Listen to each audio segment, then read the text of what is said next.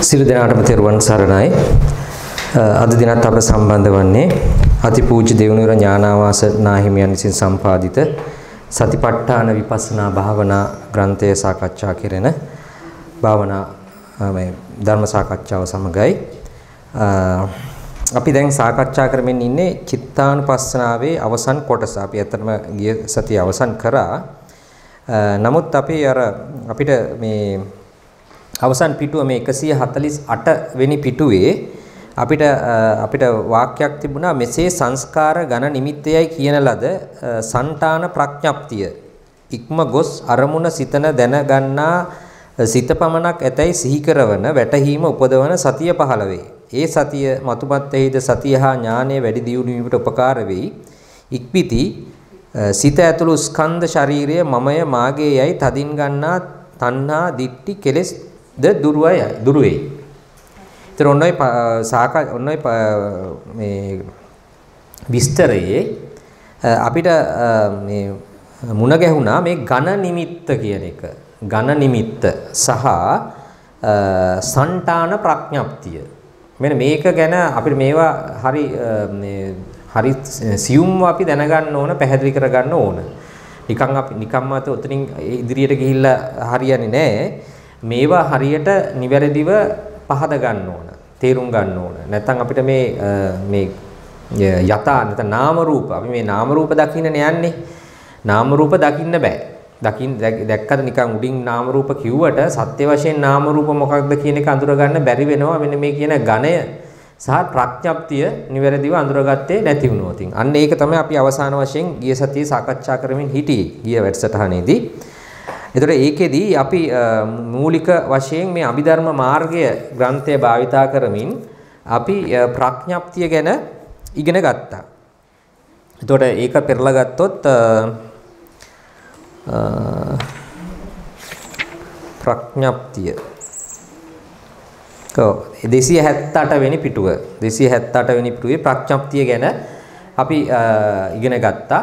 අපි දන්නවා මේ කියන නාම රූප නැත්නම් පරමාර්ථ ධර්ම පරමාර්ථ ධර්ම මේ ප්‍රඥප්තියෙන් වැහිලා තියෙන්නේ. ප්‍රඥප්තියෙන් වැහිලා තියෙන්නේ. ඒ වේ විතරක් නෙවෙයි ඒක තවත් දුරට තවත් දුරට ඒක ඝන ස්වභාවයක් ඇවිල්ලා තියෙනවා. දැන් මෙන්න මේ මොකද්ද මේ ප්‍රඥප්තිය කොහොමද ඒක ප්‍රඥප්තියෙන් වැහිලා තියෙන්නේ?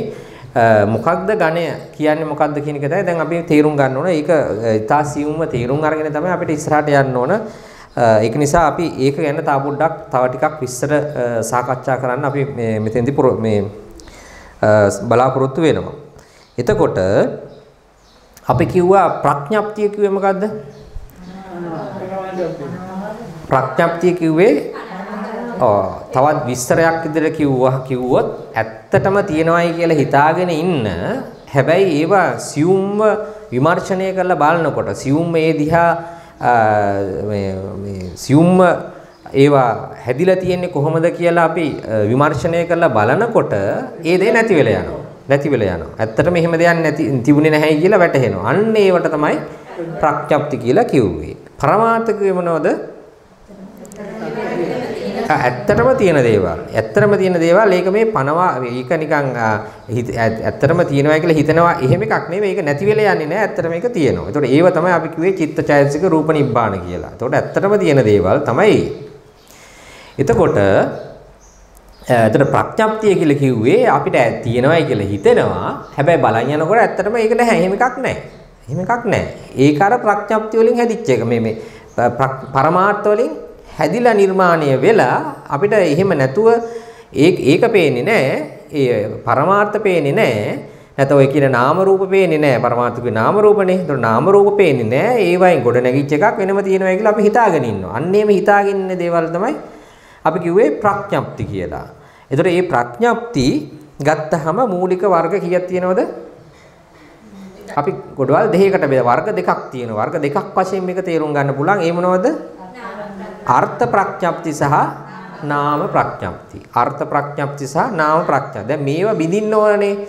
බිඳින්න නම් ඒව මේවා නිවැරදිව තේරුම් ගන්න වෙනවා. ඒකයි මේ නැවත නැවත නැවත නැවත කියන්නේ. මොකද මේවා බිඳලා නාම රූප බලයන්න වෙන්නේ. නැත්තම් නාම රූපේනේ නැහැ.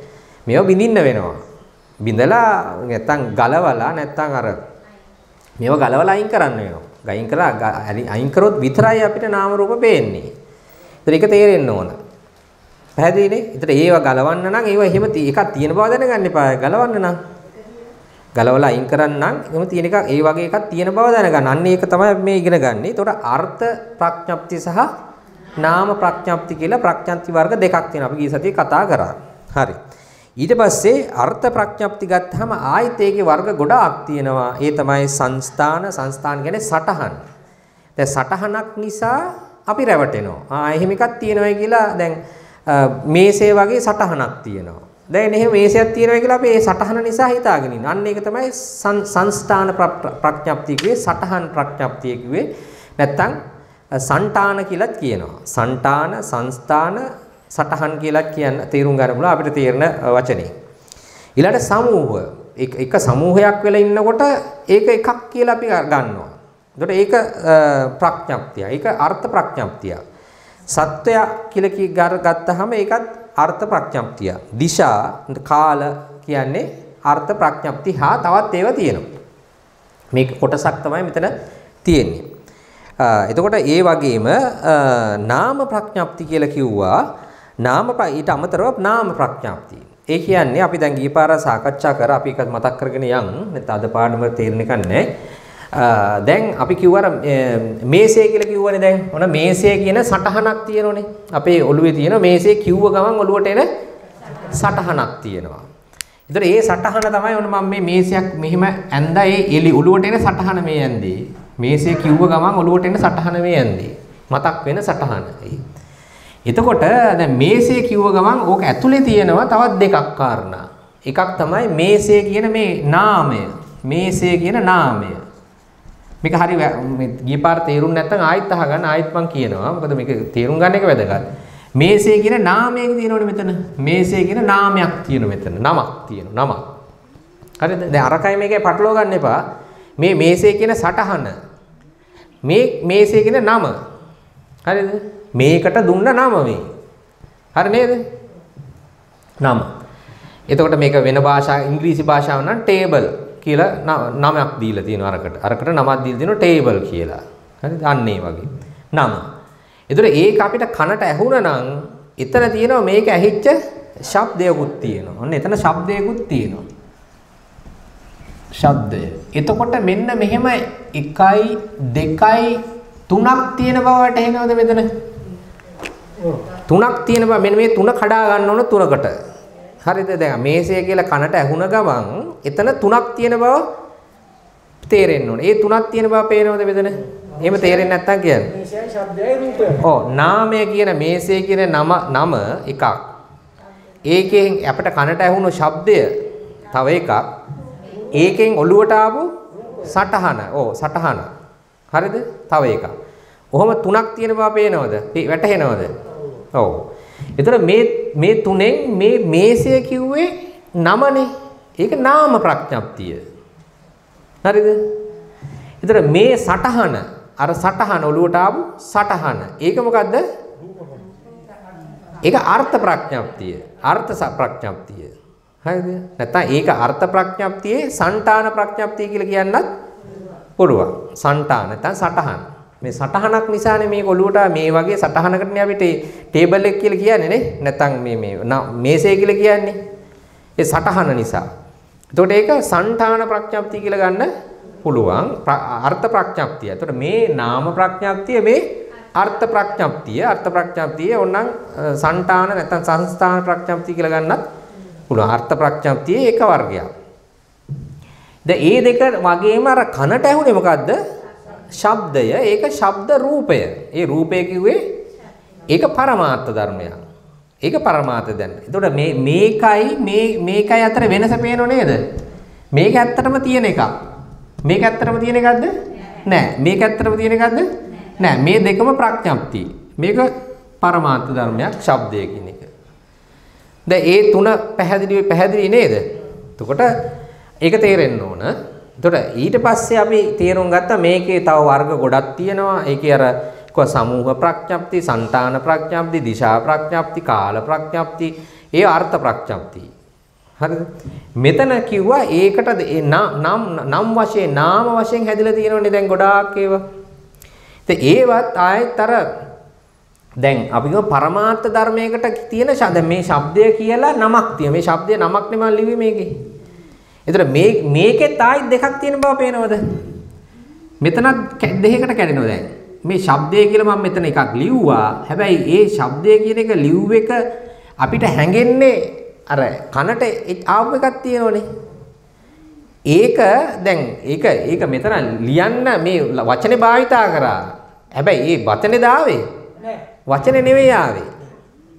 වචනේ දාවේ නෑ වචනේ නෙවෙයි ආවේ ශබ්දය ආවේ. දැන් ඒක මේ බෝඩ් එකේ ලියන්න ක්‍රමයක් තියෙන්න ඕනේ. අපි ඒකට නමක් දාගත්තා. ඒකට මොකක්ද දාපු නම? ශබ්දය. එතකොට ඒ ශබ්දය කියලා නම මොකද්ද? ඒ නාම ප්‍රඥප්තියක්. ඒක මොන නාම ප්‍රඥාද? විද්‍යමාන විද්‍යමාන නාම ප්‍රඥප්තිය. ඒක තේරෙනවද? ඒක තේරෙනව නේද? එතකොට මේ ශබ්දය කියලා කිව්වේ නාමයක් ඇත්තටම. මේ ශබ්දය කියලා නම් කරන්න අපි ඇත්තටම ශබ්දය දැන් ශබ්දය මෙතන ලියන්න පුළුවන්ද? බැහැනේ. ඒකට නමක් දීලා නම තමයි මෙතන ලියන්න වෙන්නේ. එහෙමනේ කරන්න වෙන්නේ නේ. ශබ්දය මේකේ මේකේ පෙන්වන්නේ කොහොමද මොන ශබ්දය? එහෙම පෙන්වන්න විදියක් නැහැනේ. ලියලා තමයි පෙන්වන්නේ. ලියන්න වෙන්නේ ඒකට නමක් දාලා. ඒ නමක් දාලා ඒක නම තමයි මෙතන ලියන්න වෙන්නේ. හරි නේද? පැහැදිලි. කාට හරි අපහැදිලි දැනක් තියෙනවද? මොකද හරි සියුම් විදියට මේක තේරුම් ගන්න ඕන. හරි. එතකොට එතන දෙකක් තියෙනවා. මෙතන දෙකක් තියෙන බව පේන්න ඕන. එතන අර ඇත්තරම ශබ්දයයි ඒකට දීපු නමයි. ඒතකොට ඒ නම මොකද්ද? ඒ නම නාම ප්‍රඥප්තිය. මේකත් නාම ප්‍රඥප්තිය. මේක අර්ථ ප්‍රඥප්තිය. ඒක තේරෙන්න ඕන.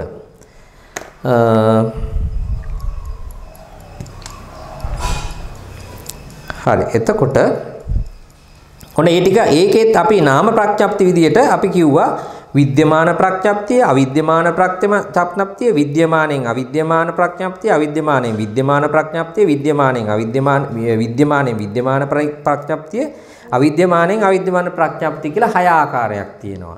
ඒතර විද්‍යමාන කියලා කිව්වේ සත්‍ය වශයෙන් පරමාර්ථ ධර්ම ධර්මය සත්‍ය වශයෙන් පරමාර්ථ ධර්මය හංගවන්න නැත්නම් තේරුම් ගන්න දීපු නම. පරමාර්ථ ධර්මයක මේ තියෙන්නේ ඒක තේරුම් ගන්නත් ඒකට නමක් දෙන්න එපාය. ඒ පරමාර්ථ ධර්මය තියෙනවා. දැන් ඒකට නමක් දෙන්න එපාය. තේර නමක් දාන්න නැතුව අපි කොහොමද මේ හසුරවන්නේ මේක හසුරවන්න බෑනේ නම දෙන්න නැතුව. නේද? අපි කතා කරන්න කියලා දෙන්න භාෂාවක් ඕනනේ. නම නාමයක් දාන්න වෙනවා. අන්න ඒක දැන් සිත සිත කියන එක තියෙනවා කොහොම එකක්. දැන් ඒක තේරුම් ගන්න කතා කරන්න ඉගෙන ගන්න මේ සියල්ලට මොකද්ද ඕන? ඒකට නමක් දාන්න ඕන. ඒ නම මොකද්ද? විද්‍යමානයෙන් විද්‍යමාන නාම ප්‍රඥප්තිය. සිත ඇත්තටම තියෙන සිත මොකද්ද? පරමාර්ථ ධර්මය. හරි නේද? සිත පරමාර්ථ ධර්මය ඒක තේරුම් ගන්න නමක් දැම්මා. ඒ නම මොකද්ද?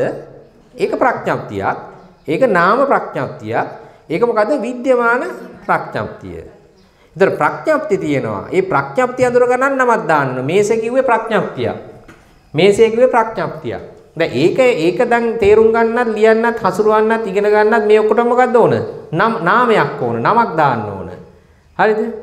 ඒක අවිද්‍යමාන.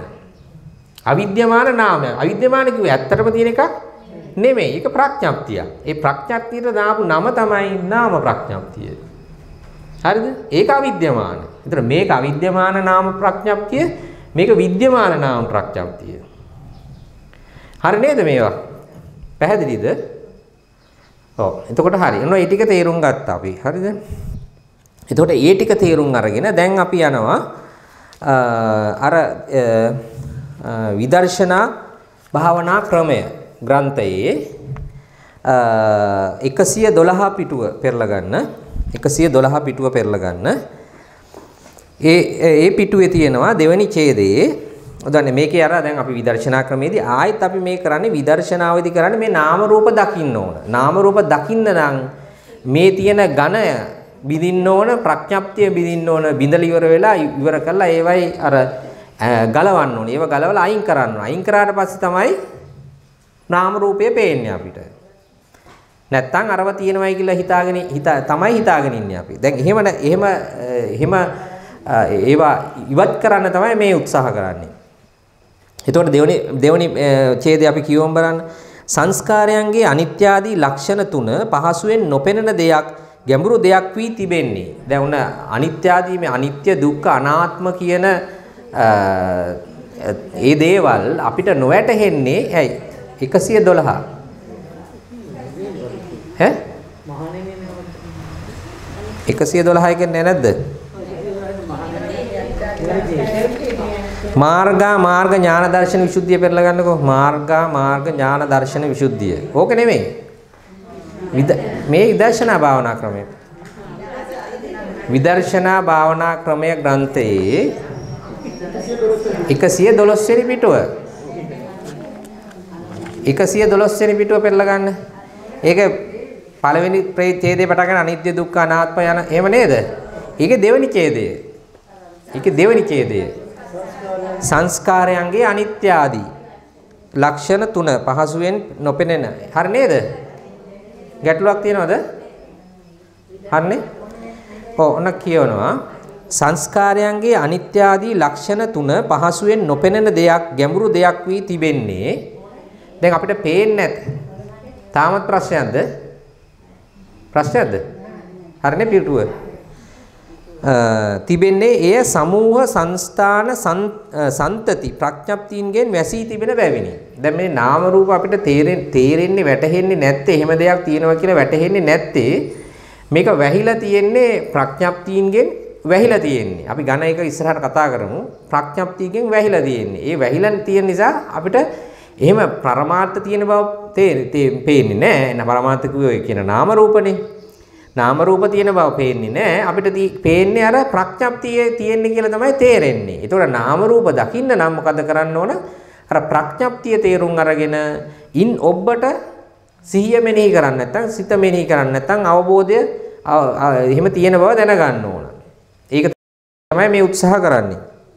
එතකොට ඒක මූලික වශයෙන් ප්‍රඥප්තියන් විදියට සමූහ සංස්ථාන සන්තති විදියට ප්‍රඥප්තියන්ගෙන් වැහිලා තියෙන්නේ.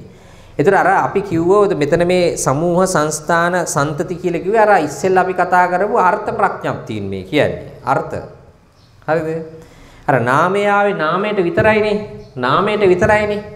ඒතර අපිට වැටහෙන්නේ ඒ නාම තියෙන එක ගැන නෙවෙයිනේ අපි කියන නාම නම් නමක් දාපු කෙනෙකුට නමක් දැම්මා. ඒක ඉතින් අපි දාපු නමක් බව අපි දන්නවා. තේරුණාද? ඒක නිසා නෙවෙයි අපි රැවටෙන්නේ මෙන්න මේ සටහන සහ ඒ වගේ එන අර්ථ ප්‍රඥප්තිය තමයි මේ වැහිලා තියෙන්නේ. අර්ථ ප්‍රඥප්තියෙන් තමයි වැහිලා තියෙන්නේ. ඒක තමයි බිඳින්න වෙන්නේ අපිට. නාම ප්‍රඥප්තිය අර්ථ ප්‍රඥප්තිය. ඉතින් ඒවා තමයි සමූහ සංස්ථාන සන්තති. දැන් අර්ථ ප්‍රඥප්තියින් ගත්තාම ගොඩාක් ඒවා වර්ග වලට තියෙන ඔය කිහිපයක් තමයි අපිට මේ උදාහරණ විදිහට අපි සාකච්ඡා කරේ ඉස්සෙල්ලා අර්ථ ප්‍රඥප්තියින්. ඒවා ගොඩක් තියෙනවා. ඉතින් ඒ අතරේ මේ සමූහ සංස්ථාන සන්තති කියන ප්‍රඥප්ති වලින් නිසා තමයි අපිට නාම රූප පේන්නේ නැත්තේ. ඒවෙන් තමයි මූලිකව වැහිලා තියෙන්නේ. ඒක නිසා තමයි මේ මේ පොතේ ඒ ගැන විස්තර කරන්නේ මූලිකව.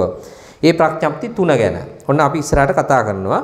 අනිත්‍ය ආදී ලක්ෂණත්‍රය නුවණට හසු කරගත හැකි වන්නේ අවබෝධ කරගත හැකි වනුයේ සමූහාදී ප්‍රඥප්ති තුන නුවණින් බිඳපියා. ඔන්න ප්‍රඥප්තිය බිඳිනෝ.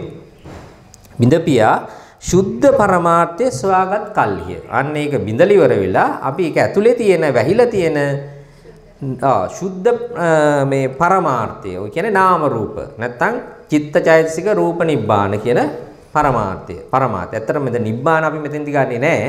නිබ්බානය නෙවෙයි අපි දකින්නේ චිත්තචෛතසික රූප ওই තුන. මොකද ওই තුනනේ දකින්න ඕනේ. ඒකේ දුකතේ දැන් නිර්වාණයේ දුකක් තියෙනවද? නෑ. නිර්වාණයේ දුකක් නෑ. ඒක තමයි පරම සැප. එතකොට දුක තියෙන තැනනේ බලන්න වෙන්නේ දැන් අපිට. අපි දුකනේ අඳුරගන්න නැත්තේ අනිත්‍ය දුක්ඛ අනාත්මනේ නিত্য සුඛ ආත්ම විදියට තමයි තේරුම් අරගෙන ඉන්නේ. එහෙමනම් ඒක එහෙම නෙමෙයි අනිත්‍ය දුක්ඛ අනාත්මයි කියලා තේරුම් ගන්න නම් මේ ඒ මේ අර තුන තමයි බලන්න නිවැරදිව දැන් ඒක වැහිලා තියෙන්නේ අර ප්‍රඥප්තියෙන්. ඒක බිඳලා ඉවර වෙලා අපි බලනවා අර කියන චිත්ත චෛතසික රූප කියන ඒවා බලනවා. අන්න ඒවා බලනකොට තමයි අපිට තේරෙන්නේ නෑ නෑ මේක මේ නিত্য සුඛාත්ම නෙමෙයි අනිත්‍ය දුක්ඛ අනාත්මයි කියලා තේරෙන්නේ. එතකොට ඒකට තමයි මේ උත්සාහ කරන්නේ. ඒක තමයි ඒක කරන්න තමයි හදන්නේ මේ. එතකොට එහෙම එහෙම එහෙමනම් අර කියන චිත්ත චෛතසික රූප කියන ඒවා හොයා ගන්න වෙනවා. ඒවා වැහිලා තියෙන්නේ. ඒක හොයා ගන්න වෙනවා දැන්. එය නොසොයාගෙන ප්‍රඥප්ති විශේෂයි සෙවීමට ගියාට අනිත්‍ය ආදී ලක්ෂණත්‍රය නොදකිය හැකියි. ආන්න. ඒක හරියට මේක බිඳලා අර කියන ඊට ඇතුලෙන් හැංගිලා තියෙන චිත්ත චෛතසික රූප නැත්තම් වෙනත් විදිහකින් කියවොත් නාම රූප දැක්කේ නැත්තම් අපිට වැටහෙන්නේ නැහැ අනිත්‍ය දුක්ඛ අනාත්මයි කියලා වැටහෙන්නේ නැහැ. හරිද? හරි. එනම් ප්‍රඥප්ති තුන. පඨවි ආදී ධාතු සතර එක් වූ කල්ලි කුඩා ඊතා කුඩා දෙයක් සෑදේ. එයට රූප කලාපයයි කියනු ලැබේ. එයට එය ඇසට නොපෙනෙන්නේ ඇසට පෙනෙන්නේ නොවේ. ඒ රූප කලාපය ලෝකයා විසින් ඊතා කුඩා දෙය හැටියට සලකන පරමාණුවටද වඩා ඊතා කුඩාය. හරිද? එක් පරමාණුවක රූප කලාප බොහෝ ගණනක් ඇත. ඊතා කුඩා බැවින් ඇසට නොපෙනෙන ඒ රූප කලාප සමූහයක් එක් වූ කල්ලි මහත් වූ එක් දෙයක්සේ ඇසට පෙනෙන්නේය. පස් දියය, පස්ය දියය, ගල්ය, යකඩය, තඹය, රන්‍ය, රිදීය, ගස්ය, ලීය, කොළය, පොතුය. ගෙඩිය, ලේය, මස්ය, ඇටය, නහරය, නියය යනාදී යම් නම් කියනුවේ රූප කලාප සමූහයන්ගේ ඒ පෙනෙන ආකාරයට. දැන් මේක අපි තවදුරටත් මේ මෙතන පැහැදිලි වෙන්නේ නෑ ඒක. අපි එදා සාකච්ඡා කරා අපි කිව්වා දැන් අපි සාමාන්‍යයෙන් අදත් අපි ওই උසස් පෙළ ශිෂ්‍යයන්ට තියෙනවා පදාර්ථය කියලා එකක් උගන්වනවා. ඒතර අපි කිව්වා ඒ පදාර්ථ කිව්වේ ද්‍රව්‍ය කියලා නේද? අපි එදා සාකච්ඡා කරා. අපි අයිත් පොඩ්ඩක් මතක් කරගමු. අපි ද්‍රව්‍ය කියලා එකක් කියනවා ඒකම තමයි පදාර්ථය කිව්වේ. පදාර්ථය. මම දැන් වෙනම පාඩමක් තියෙන පදාර්ථය කියලා උසස් පෙළේදී. නේද? ජීව විද්‍යාවට තියෙන මේ මේ විද්‍යාවට තියෙනවා. විද්‍යා විෂයන් වලට. එතකොට පදාර්ථය ද්‍රව්‍ය කිව්ව ගමන් අපිට තියෙන්නේ මේකේ නිට්ටය බව නේද පේන්නේ? නිට්ටය මේක තියෙන එකක් මේක. නැත්තම් අපි මූල ද්‍රව්‍ය. අපි අපි අපි කියනවා ඉලෙක්ට්‍රෝන ප්‍රෝටෝන නියුට්‍රෝන එකතු වෙලා පරමාණුවක් හැදලා තියෙනවා. ඒ පරමාණුවේ එකතුවට අපි කියනවා මූලද්‍රව්‍යයක් කියලා. ඒ මූලද්‍රව්‍ය බොහෝ ප්‍රමාණයක් තියෙන. ඒව එකතු වෙලා සංයෝග හැදිලා සංයෝග වලින් ඊට පස්සේ යම් මේ පැත්තේ නම් සෛල සෛල හැදිලා එහෙම තමයි මේ ද්‍රව්‍යයක් නිර්මාණය වෙලා තියෙනවා කියන එක තමයි අපි තේරුම් ගන්නේ. නේද? ඒ ද්‍රව්‍ය කියන්නේ ඇත්තටම තියෙනවා. ඉතින් ඒකේ පේනවද අපිට තේරෙනවද වැටහෙනවද අනිත්‍ය බවක්? නෑ අනිත්‍ය බවක් තේරෙන්නේ නෑ. ඒ කොහේවත් අපි කතා කරන්නේ මේ මෙච්චරක මේක මෙහෙම ඉපදීමක් තියෙනවා, පැවතීමක් තියෙනවා, නැතිවීමක් තියෙනවා කියන කතාව කතා කරනවද? නෑ. එතන ඇතුලේ තියෙන නිට්ටයයි. ඒක නිට්ටයයි. ද්‍රව්‍ය කිව්ව ගමන් නිට්ටයයි. නිට්ටය අදහස් තමයි එන්නේ අපිට. නිට්ටයයි. නිට්ටයයි. හැබැයි මේක මේක තියෙන්නේ අර මොකද්ද මේ එතකොට මේ ප්‍රඥප්ති ප්‍රඥප්ති මේ ප්‍රඥප්ති. ඒතර මේක ඇතුලේ තමයි තියෙන්නේ අර කිව්ව පරමාර්ථ පරමාර්ථ පර පරමාර්ථ ඒවයි ගුණය මොකද්ද? ඒව ක්‍රියා මාත්‍රයක්. ක්‍රියා ක්‍රියා. ඒව ක්‍රියා මාත්‍රයක්. ක්‍රියා. ක්‍රියාවක ගුණය මොකද්ද?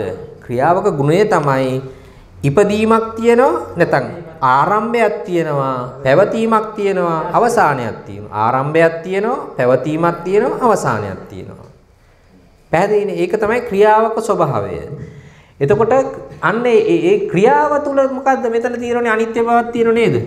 අනිත්‍යයි. අනිත්‍යයි.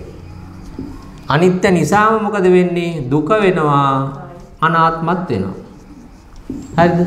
අනිත්‍ය ස්වභාවය නිසා මෙහෙම ලියමු. අනිත්‍ය අනාත්ම නිසා අනාත්මත් මේ අනිත්‍ය අනිත්‍ය භාවය තුල දුකත් වෙනවා අනාත්ම බවත් වෙනවා. අනිත්‍ය උනේ මොකද?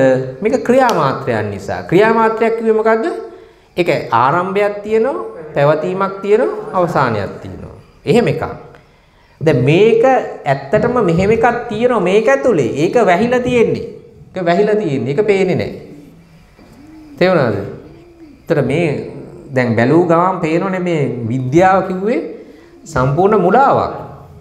අපි වැහි මේ මුලාවක වෙලිලා ඉන්නේ, වැහිලා ඉන්නේ. හරි නේද? දැන් අපි කතා කරා. ඒක මෙතන කියුන්නේ නැහැ මම ඒක මතක් කරේ දැන්. හරි. එතකොට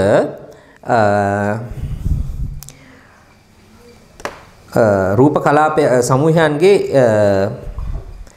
ඒ පෙනෙන ආකාරවලට මහත් දේ මහත් මහත් දේ හැටියට පෙනෙන සැලකෙන පස් දිය ගල් ආදිය ආදියෙහි ඇත්ත වශයෙන් ඇත්තේ රූප කලාප පමණකි. එතකොට මේ රූප කලාප ටිකක් තමයි මේ තියෙන්නේ.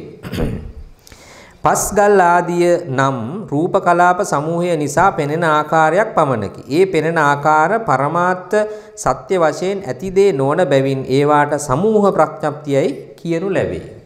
එතකොට සමූහ වෙලා එකතු වෙලා ඉන්නවා. එතකොට පස් කිව්වේ ගල් කිව්වේ මේවා සමූහයක් එකට එකතු වෙලා ඉන්නවා. එතකොට ඒ දැන් පස් පස් ගොඩක් නැත්නම් පස් කන්දක් කන්දක් පේනවා අපිට මේ කන්දක් තියෙන බව පේනවා. කන්ද කිව්වේ මොකද්ද? මේ පස් ගොඩක එකතුවක්. එකතුවක්. කන්ද හැදුනේ පස් ගොඩක එකතුවක්. ඒක සමූහයක් තියෙන නිසා කන්දක් තියෙන බව අපිට පේනවා. අන්න ඒ වගේ. එකක් කිව්වේ. අන්න ඒක නිසා මේ සමූහ ප්‍රඥප්තියේ මේ නාම රූප වැහිලා තියෙන්නේ. ඒකට ඒක පේන්නේ නැහැ. ඊළඟට ලෝකෙහි ඇති කිනම් දෙයක් ගැන බැලුවත් කවර දෙයක් දෙස බැලුවත් රූප කලාප නොපෙනේ. රූප කලාප එහෙම බැලුවයි කියලා පේන්නේ නැහැ අපිට. සමූහ ප්‍රඥප්තිය මතුවී පෙනේ. සමූහ ප්‍රඥප්තියෙන් පරමාර්ථය වැසී තිබේ. ඔය සමූහ ප්‍රඥප්තිය නිසා පරමාර්ථය වැහිලා තියෙන්නේ. එබැවින් පරමාර්ථය දැන ගැනීම අපහසුය. අන්න ඒක නිසා අපිට මේ මේ සමූහ ප්‍රඥප්තිය නිසා පරමාර්ථය දකින්න බැරි වෙනවා අපහසු වෙනවා. පරමාර්ථය වසාගෙන තිබෙන සමූහ ප්‍රඥප්තිය නැමැති කඩතුරාව ඥානය නැමැති හස්තයෙන් ඉවත් කොට අන්න ඥානය නැමැති හස්තයෙන් අර කඩතුරාව සමූහ ප්‍රඥප්තිය කියන කඩතුරා අයින් කරන්න ඕන. ගලවන්න ඕන. ගලවලා අයින් කරන්න ඕන. ඉවත් කොට සමූහ ප්‍රඥප්තිය නැමැති අඳුර ඥානාලෝකයෙන් දුරු කොට එතකොට මේ සමූහ ප්‍රඥප්තිය කියන්නේ අඳුරක්. ඒ අඳුර මේ ඥානාලෝකයෙන් දුරු කොට නැත්නම් ඥානය කියන ආලෝකය ගහනවා. අඳුරෙන් වැහිලා තියෙන පේන්නේ නැහැ මුකුත්. ඥාන ඥානය කියන ටෝච් එක ගහනවා. ගැහුවා පේනවා දැන්. දුරු කොට පරමාර්ථය සොයාගත යුතුයි. ආන්න ඒක නිසා මේ මේ මේවා මේ කියන්නේ අවබෝධයෙන් ඒ කියන්නේ අපි මේ ප්‍රඥප්තියයි පරමාර්ථය දෙක අතර වෙනස අඳුරගෙන මේක මේක ප්‍රඥප්තිය මේක පරමාර්ථය කියලා අඳුරගෙන ඒ අඳුර ගැනීමෙන් තමයි අපි හොයාගන්නේ ආ මේක ප්‍රඥප්තියෙන් වැහිලා තියෙන්නේ මේ තමයි මේ පරමාර්ථය කියන්නේ මොකක්ද කියලා අපි අඳුර ගන්නවා. හරි ඊට පස්සේ රූප කලාප එක් වූ තන්හි හතරස් බව පැතලි බව. ඔන්න දැන් රූප කලාප අපි කියවනේ රූප වලින් එකතු වෙලා රූප කලාප හැදිලා තියෙනවා. රූප කලාපත් පොඩ්ඩක් මතක් කරගෙන යමුනේ. නැත්නම් අපිට පොඩ්ඩක් රූප කලාප පොඩ්ඩක් බලා ගන්නකෝ. රූප කලාප. අවිධර්ම මාර්ගයේ ග්‍රන්ථයේ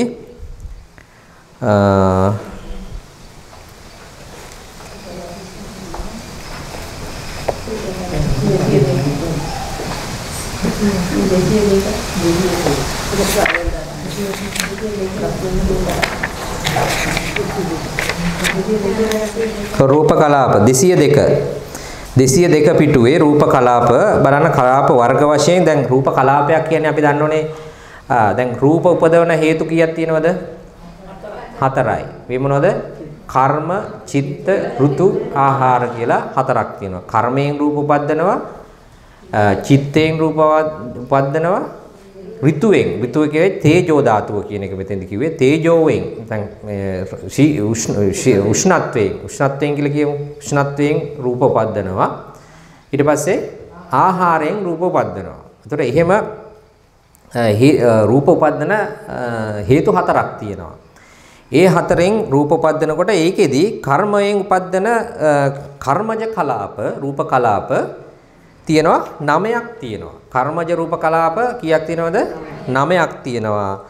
චිත්තජ රූප කලාප 6ක් තියෙනවා. ඍතුජ රූප කලාප 4ක් තියෙනවා. ආහාජ රූප කලාප දෙකක් තියෙනවා. ඔන්න මතක තියාගන්න කර්මයෙන් 9යි චිත්තයෙන් 6යි ඍතුයෙන් 4යි ආහාරයෙන් 2යි. ඒතර 9යි 6යි 4යි 2යි 9යි 6යි 4යි 2යි මතක තියාගන්න. එතකොට ඊතා ඉක්මනින් බලමු දැන් කර්මජ රූප කලාප 9 මොකද්ද? එකක් තමයි චක්ෂුර් දශක කලාපය. චක්ෂුර් දශක කලාපය. ඇහි තියෙන දශක කියන්නේ රූප වර්ග 10ක් එකතු වෙලා හැදිච්ච කලාපයක් තියෙනවා. කලාප තියෙනවා. කලාප තියෙන ගොඩක්. හරිද? චක්ෂු දශක කලාප. ඊළඟට තියෙනවා ශෝත දශක කලාප. ඊළඟට ගාන දශක කලාප, ජීවා දශක කලාප, කාය දශක කලාප කියලා ඔන්න පහක් තියෙනවා. මතක තියාගන්න මේ පහ ලේසි. ඒව දශක කලාප ඇස කන නාසය දිව ශරීරය කියන ඉන්ද්‍රියන් 6 ඉන්ද්‍රියන් පහේ තියෙනවා පහ. ඒක මතක තියාගන්න ලේසි. ඒවා මොනවද? කර්මජ කලාප. ඒවා කර්මජ කලාප. මොනවද? චක්ෂු, ශ්‍රෝත, ගාන, ජීවා, කාය. ඔන්න පහයි. මතක තියාගන්න ලේසි. ඒවා දශක කලාව. මතක තියාගන්න දශක කලාව. ඊළඟට ස්ත්‍රී දශක, පුරුෂ දශක. පුම්භාව දශක. ඔන්න ඒවා භාව දශක. ඒවා දශක අයි දෙකක් තියෙනවා. ඔන්න දැන් 7යි නේ. 5යි 2යි 7යි. ඊළඟට වස්තු දශක. වස්තු කියන්නේ හෘද වස්තුවේ. ඒක තමයි වස්තු දශක කියලා කිව්වේ. අ හෘද වස්තු දශක කියලා ඕන්න මතක තියාගන්න. මොකද වස්තු කියලා අර කොටත් නම එන නිසා හෘද වස්තු දශක කියලා කියන්නේ මතක තියාගන්නකො. හෘද වස්තු දශක. එතකොට 8යි. අනිතකද ජීවිත නවක. එතකොට නවක කලාප එකයි. නවයක් තියෙන ඒවා එකයි තියෙන්නේ. අනිත් ඔක්කොම 10යි. එතකොට කර්මජ රූප කලාප කීයක් තියෙනවද? 9ක් තියෙනවා. 9න් පහක් තියෙන්නේ චක්කු, ශ්‍රෝත, ගහන, ජීවා, කාය කියන දශක. පහයි. ඊට පස්සේ භාව දශක 2යි, 7යි. ඊට පස්සේ හද වස්තු දශක 1යි, 8යි. නේද? 8යි. ඊට පස්සේ ජීවිත නවක. ජීවිත නවක 1යි. ඒකේ 9යි තියෙන්නේ. ජීවිත නවක 1යි. එතකොට ඔන්න 9. හරිද? එතකොට 9යි. එතකොට ඊට පස්සේ චිත්තජ කලාප 6ක් තියෙනවා. චිත්තජ කලාප 6 තමයි එකක් තමයි සුද්ධාෂ්ටකය. සුද්ධාෂ්ටකය. ද සුද්ධාෂ්ටකය කර්මයෙන් උපදිනවද? නැහැ. කර්මයෙන් උපදින්නේ නැහැ. එතකොට සුද්ධාෂ්ටකේ මොනවද තියෙන්නේ? පඨවි ආපෝ තේජෝ වායෝ වර්ණ ගන්ධ රස ඕජා හරි ඒ හතර ඒ අට දැන් ඒ අට ගත්තාම එතකොට පඨවි කියන එක කර්මයෙන් උපදින්නේ නැද්ද? පඨවි ආපෝ තේජෝ වායෝ කර්මයෙන් උපදින්නේ නැද්ද? උපදිනව නේද? එතකොට මෙතන පැටලීමක් එනවනේ. මොකද්ද පැටලීම?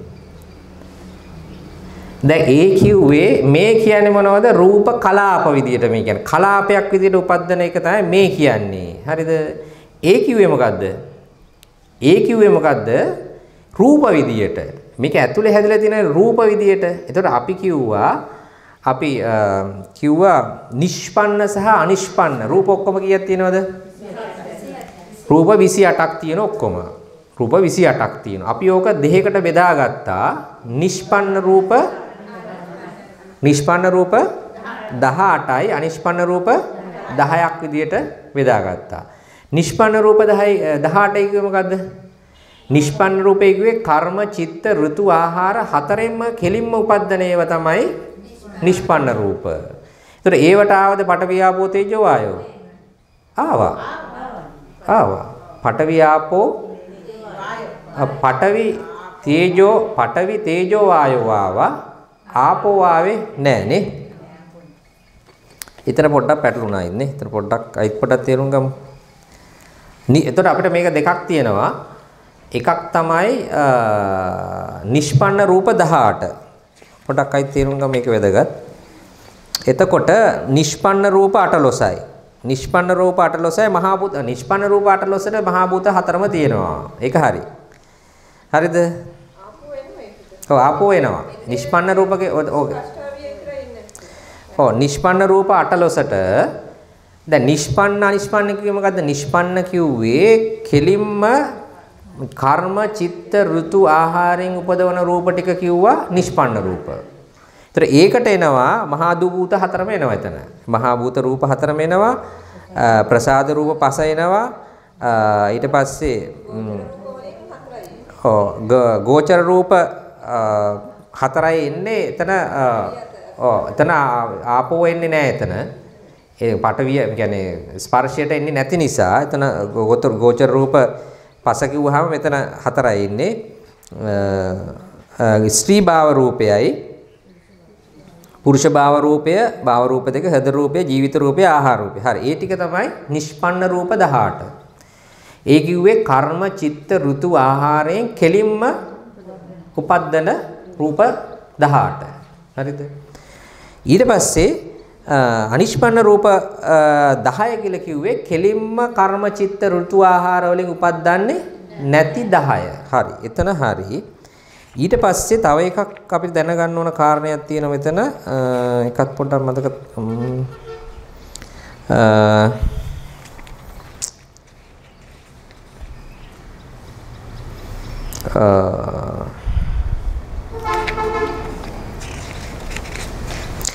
ඔව් කර්මජ රූප කර්මජ රූප කීයක් තියෙනවද? අන්න ඒක තමයි පැටලෙන තැන. කර්මජ රූප එතකොට කීයක් තියෙනවද? අ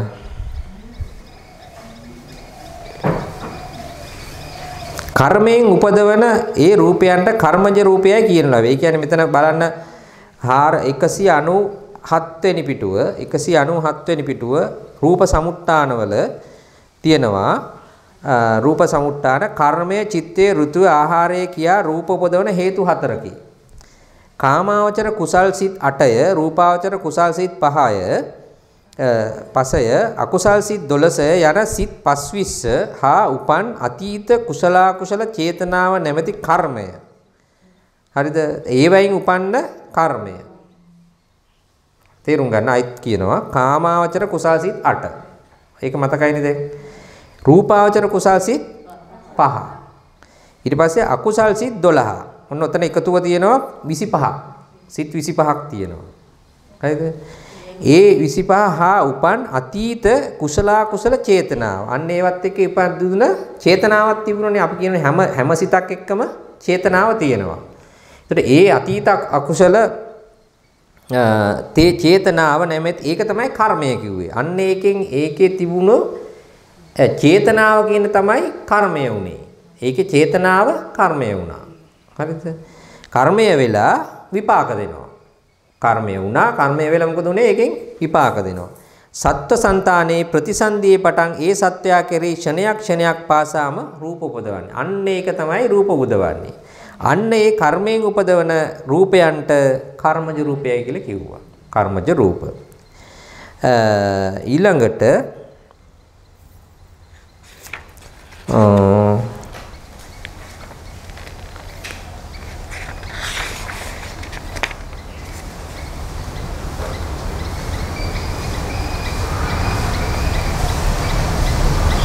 ඊළඟට බලන්න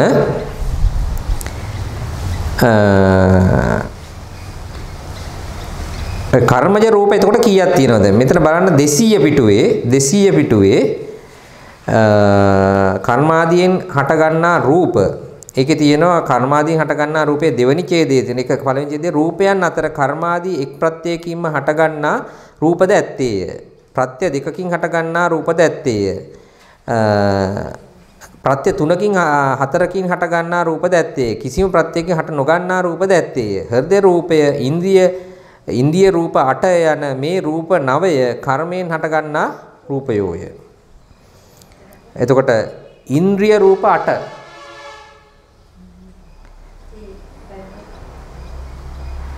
ඉන්ද්‍රිය රූප 8 කිව්වේ මොකද්ද?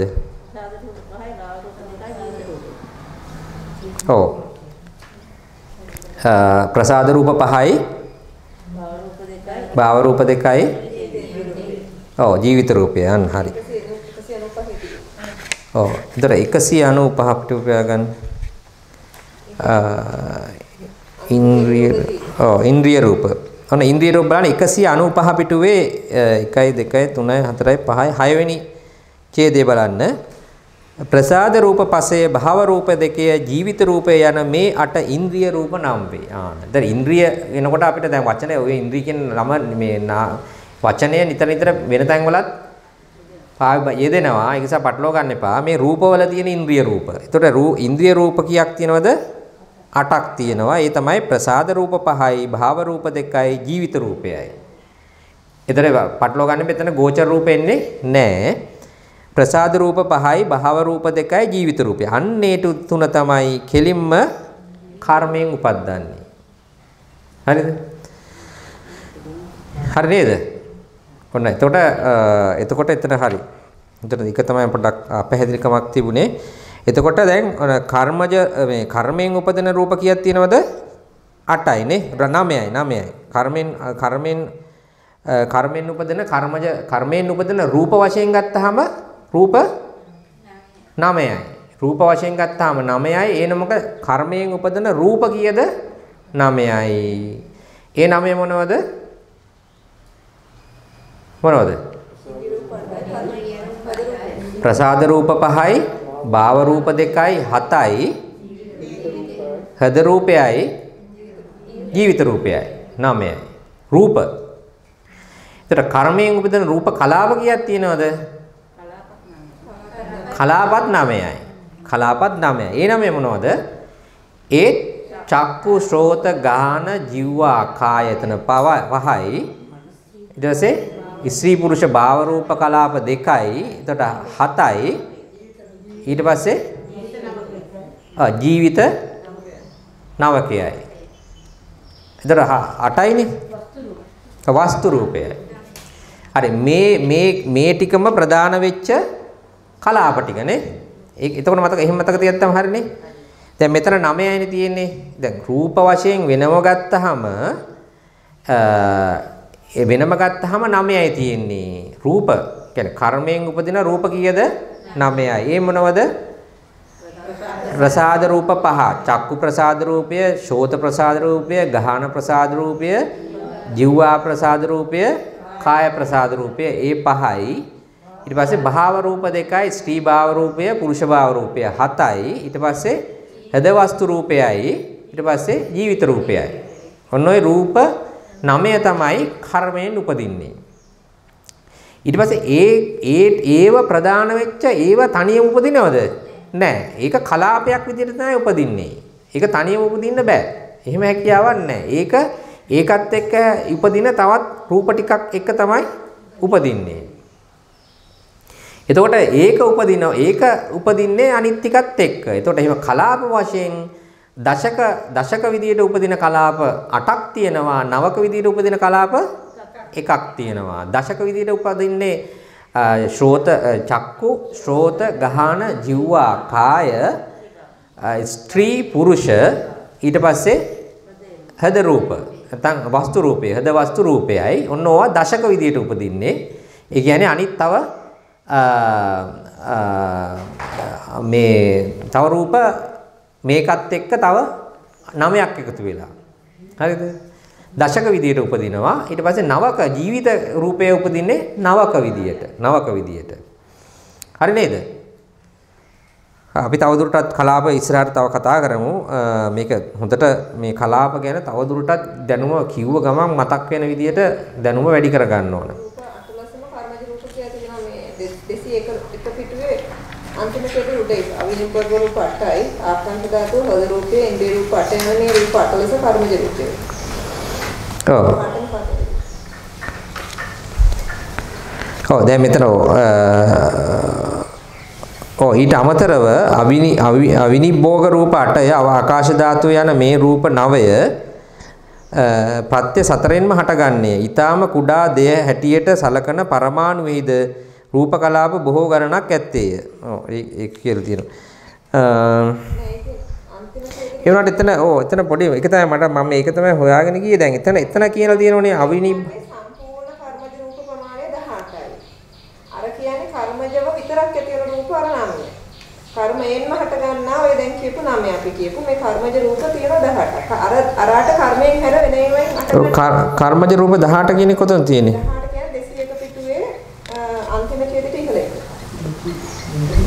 ඔව් අවිනිබ්බෝග රූප 8ය ආකාශ ධාතුවේ හෘද රූපය ඉන්ද්‍රිය රූප 8 යන මේ රූප 18 කර්මජ රූපය. ආ ඔව් එතන ඔව්. කර්මජ රූප 18ක් වෙනවා නේද ඔව් හරි හරි හරි.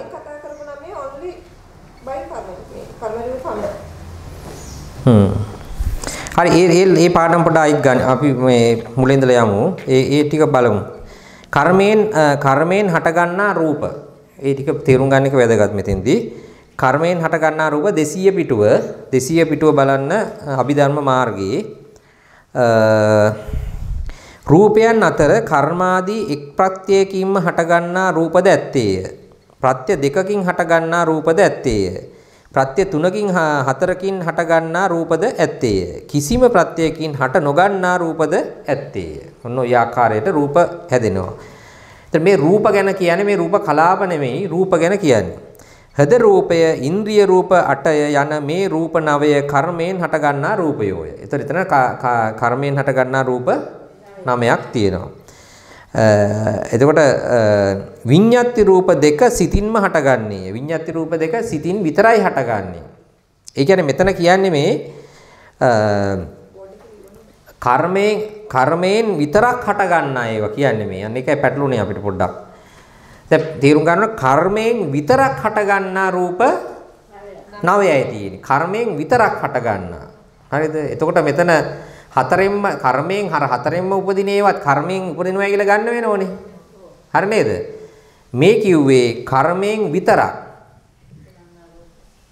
ඔව් අන්න ඒක එතන පොඩ්ඩක් අපිට පැටළුණා. ඔක්කොම කර්මජ රූප 18. අන්න එතන පොඩි පැටලීමක් වුණා අපිට. මටත් ඒක තමයි ඉස්සෙල්ල පොඩ්ඩක් පොඩි පැටලීමක් වුණා. හරි. ඔන්න දැන් පැහැදිලි තේරුම් ගන්න එදගත්. කර්මයෙන් පමණක් කර්ම යෙන් පමණක් පමණක් කියන එක වැදගත් පර්මයෙන් පමණක් රූප හට ගන්නා රූප කීයක් තියෙනවද නාමයක් තියෙනවා නාමයයි හරිද නාමයයි ඊට පස්සේ සිතින් විතරක් හට ගන්නා සිතින් විතරක්. චිත්තයෙන් විතරක්. චිත්තයෙන් පමණක්. පමණක් දෙකයි. දෙකයි. ඒ මොනවද? විඤ්ඤාති රූප දෙක. විඤ්ඤාති රූප දෙක. ඊට ශබ්දය චිත්ත ඍතු දෙකෙන්ම හටගන්නේය. ඍතු ශබ්දය චිත්ත ඍතු දෙකෙන්ම හටගන්නවා. ශබ්දය කියන එක විශේෂයි. ශබ්දය කියන එක චිත්ත ඍතු දෙකෙන්ම හටගන්නවා. ශබ්දය චිත්ත ඍතු ඍතු දෙකෙන්ම හටගන්නවා. ඒක දෙකෙන්. චිත්තජ රූප නම් කොම් පහළ. හරිද? ඊට පස්සේ කතා කරන ශබ්දය චිත්තජ ශබ්දය සුලං හැමීම ආදීන් හටගන්නා ශබ්දය ඍතුජ ශබ්දය ශබ්දය ලහුතා මුදුතා කම්මන්තා යන විකාර රූප තුන ඍතු චිත්ත ආහාර යන ඍතු හේතු තුනෙන්ම හටගන්නේය. ලහුතා මුදුතා කම්මඤ්ඤතා කියන රූප තුන. ඍතු චිත්ත ආහාර. ලහුතා මුදුතා කම්මඤ්ඤතා. ලහුතා මුදුතා කම්මඤ්ඤතා. තා. ඒකෙන් මොකද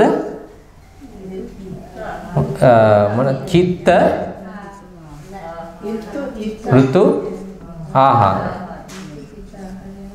චිත්තයෙන් ඍතුවෙන් ආහාරයෙන් ලහුතා මුදිතා කම්මඤ්ඤතා තුනම උපදිනවා හරිද ඒ තුනෙම හටගන්නේ ලහුතා ලහුතාදී රූප හටගන්නේ හොඳ චිත්ත ඍතු ආහාර වලින්නේ ලෞතාදී රූප හටගන්නේ හොඳ චිත්ත ඍතු ආහාරවලිනි. හරි.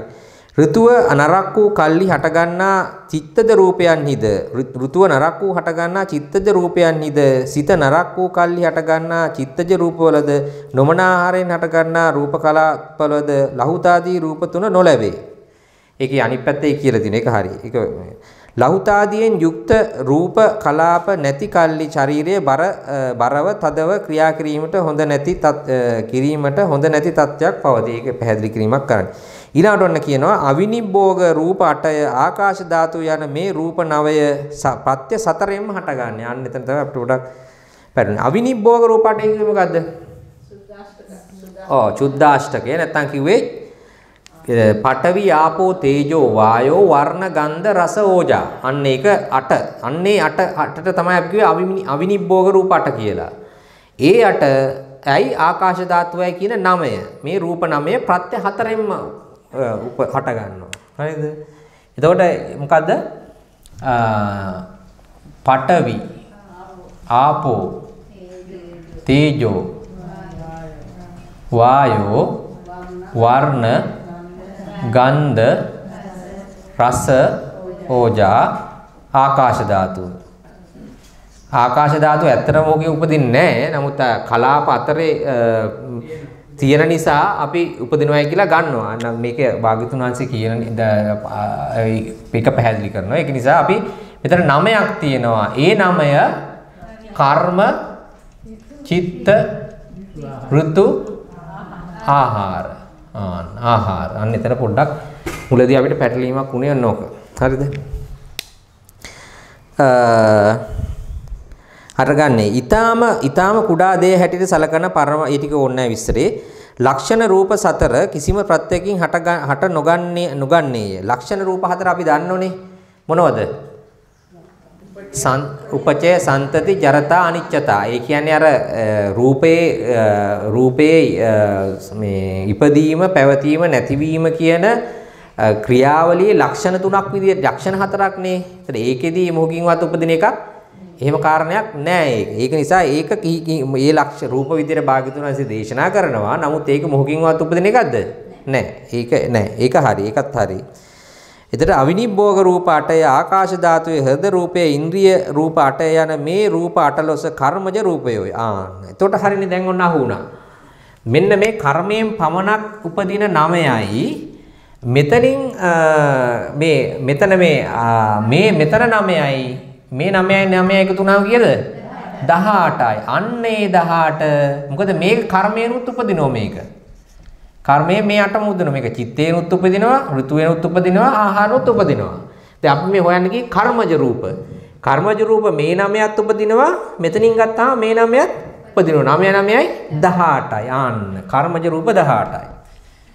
කර්මජ රූප 18 ආවනේ දැන්. කර්මජ රූප 18. මේ 18 ඉලක්ක මට මතක තිබුණේ ඒක පොඩක් කලින් මේ ඊළාට නිෂ්පන්න රූප. කිව්වනේ නිෂ්පන්න රූප. නිෂ්පන්න රූපත් 18යි. නෑ නිෂ්පන්න රූප 18යි. නිෂ්පන්න රූප 18යි. නිෂ්පන්න රූප 18 කිව්වේ මොනවද? අර කර්ම චිත් කර්ම මේ මේ කර්ම චිත්ත ඍතු ආහාර වලින් කෙලින්ම උපදින ඒවා. එකකින් කෙලින්ම උපද්දන ඒවා. එහෙම කෙලින්ම ඔය හතරෙන් කෙලින්ම උපද්දන ඒවා තියෙනවා 18ක්. ඊළඟට කර්මජ රූපත් 18ක් තියෙනවා. හරිද? දැන් මේ නමය කොහොමත් හතරෙම උපද්දනෝනේ. මේ නමය කොහොමත් හතරෙන්ම උපද්දනවා. හරිද? ආ එතකොට කර්මයෙන් පමණක් උපද්දන නමයයි තියෙන්නේ මෙතන. තේරුණාද? එතකොට ඒ ඊතර 18ක් තියෙනවා. අ ඊතර අතන නමයයි අ එතන ඉතුරු මේ 18 ගියාම ඉතුරු 10නේ තියෙන්නේ එතන. එතන නැත්තේ. මෙතන 10යිනේ ඉතුරු වෙන්නේ. එතන නිෂ්මන්න රූප 18ට එනවා කර්මජ රූපය 18යි 18 එනවා. ඒ දෙකේ වෙනසක් නැහැනේ නේ. ඒ දෙකේ වෙනසක් තියෙනවද? නිෂ්පන්න රූප බලමු නිෂ්පන්න රූප දැන්.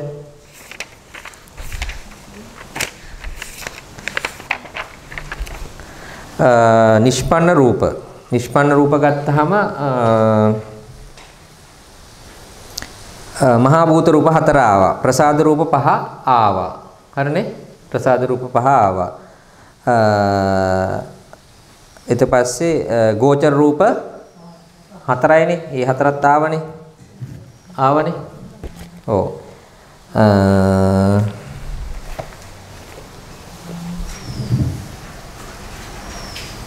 ඔව් ශබ්දය ආවේ නැහැ. අන්න ශබ්දයේ වෙනසක් තියෙනනේ. ශබ්දය ආවේ නැහනේ. ඔව් අන්න මෙන්න මෙතන අන්න අතන තමයි වෙනස තියෙන්නේ. හරිද? මේක වැදගත්. ඒ සියුම් වෙනස දැන් මේ අපි දැන් මෙතන තියෙනවා. ඔතන තමයි පොඩ්ඩක් මෙතන ශබ්දය කියන එකක් තියෙනෝනේ. ඒතර ශබ්දයේ එන එක තියෙනෝනේ නේද? ගෝචර රූපේ තියෙනෝ නේද? මේ මේ නිෂ්පන්න රූපේ තියෙනවා. නේද? අ එතන ගෝචර රූප පහක් තියෙනෝනේ. ගෝචර රූප පහක් මොනවද? වර්ණ ගන්ධ වර්ණ නෑ වර්ණ ශබ්ද වර්ණ ශබ්ද ගන්ධ රස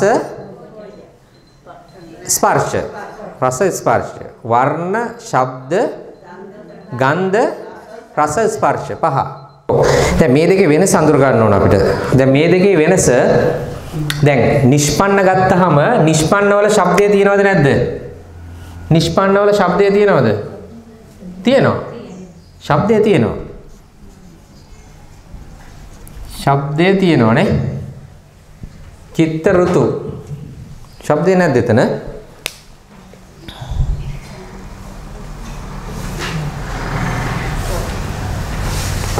නෑ නිෂ්පන්න රූපවල තියෙනවනේ. ගෝචර රූප පහම තියෙනවනේ නිෂ්පන්න රූපවල. එතකොට ඒකේ ශබ්දය තියෙනවා. හැබැයි කර්මජ රූපවල ද ශබ්දය තියෙනවද? නෑ. කර්මජ රූපවල නෑ. ඇයි මෙතන නෑනේ? පඨවි ආපෝ තේජෝ වායෝ වර්ණ ගන්ධ රස ඕජා මෙතන නෑ. හරිද? එතන නෑ. එතන මෙතන නෑ ශබ්දය. ශබ්දය නෑ. හරිද? ශබ්දය නෑ. මෙතන ශබ්දය තියෙනවා. එතකොට තා මොකක්ද ආවේ? ස්ත්‍රී භාව රූප පුරුෂ භාව රූප හරි. භාව රූප දෙකේ හද රූපේ ජීවිත රූපේ ආහාර රූපේ. ඊළඟට නිෂ්පන්න රූපවල ආහාර රූපේ තියෙනවා හරි. මෙතන ආහාර රූපේ මේකේ තියෙනවනේ. අ මේ දෙකේ වෙනස මොකද්ද? දෙකම 18යි.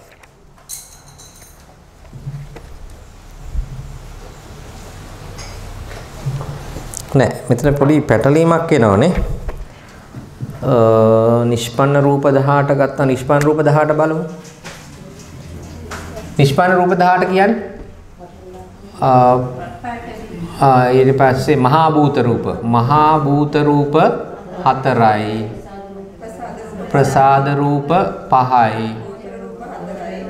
ගෝචර රූප වලින් නම් විදිහට ගමු මොනවද? වර්ණ. ගන් වර්ණ ශබ්ද ගන්ධ රස ස්පර්ශ ගන්නෙ නෑ. ඔව් මෙතන හතරයි එතකොට. හරිනේ? නිෂ්පන්න රූපනේ එන්නේ?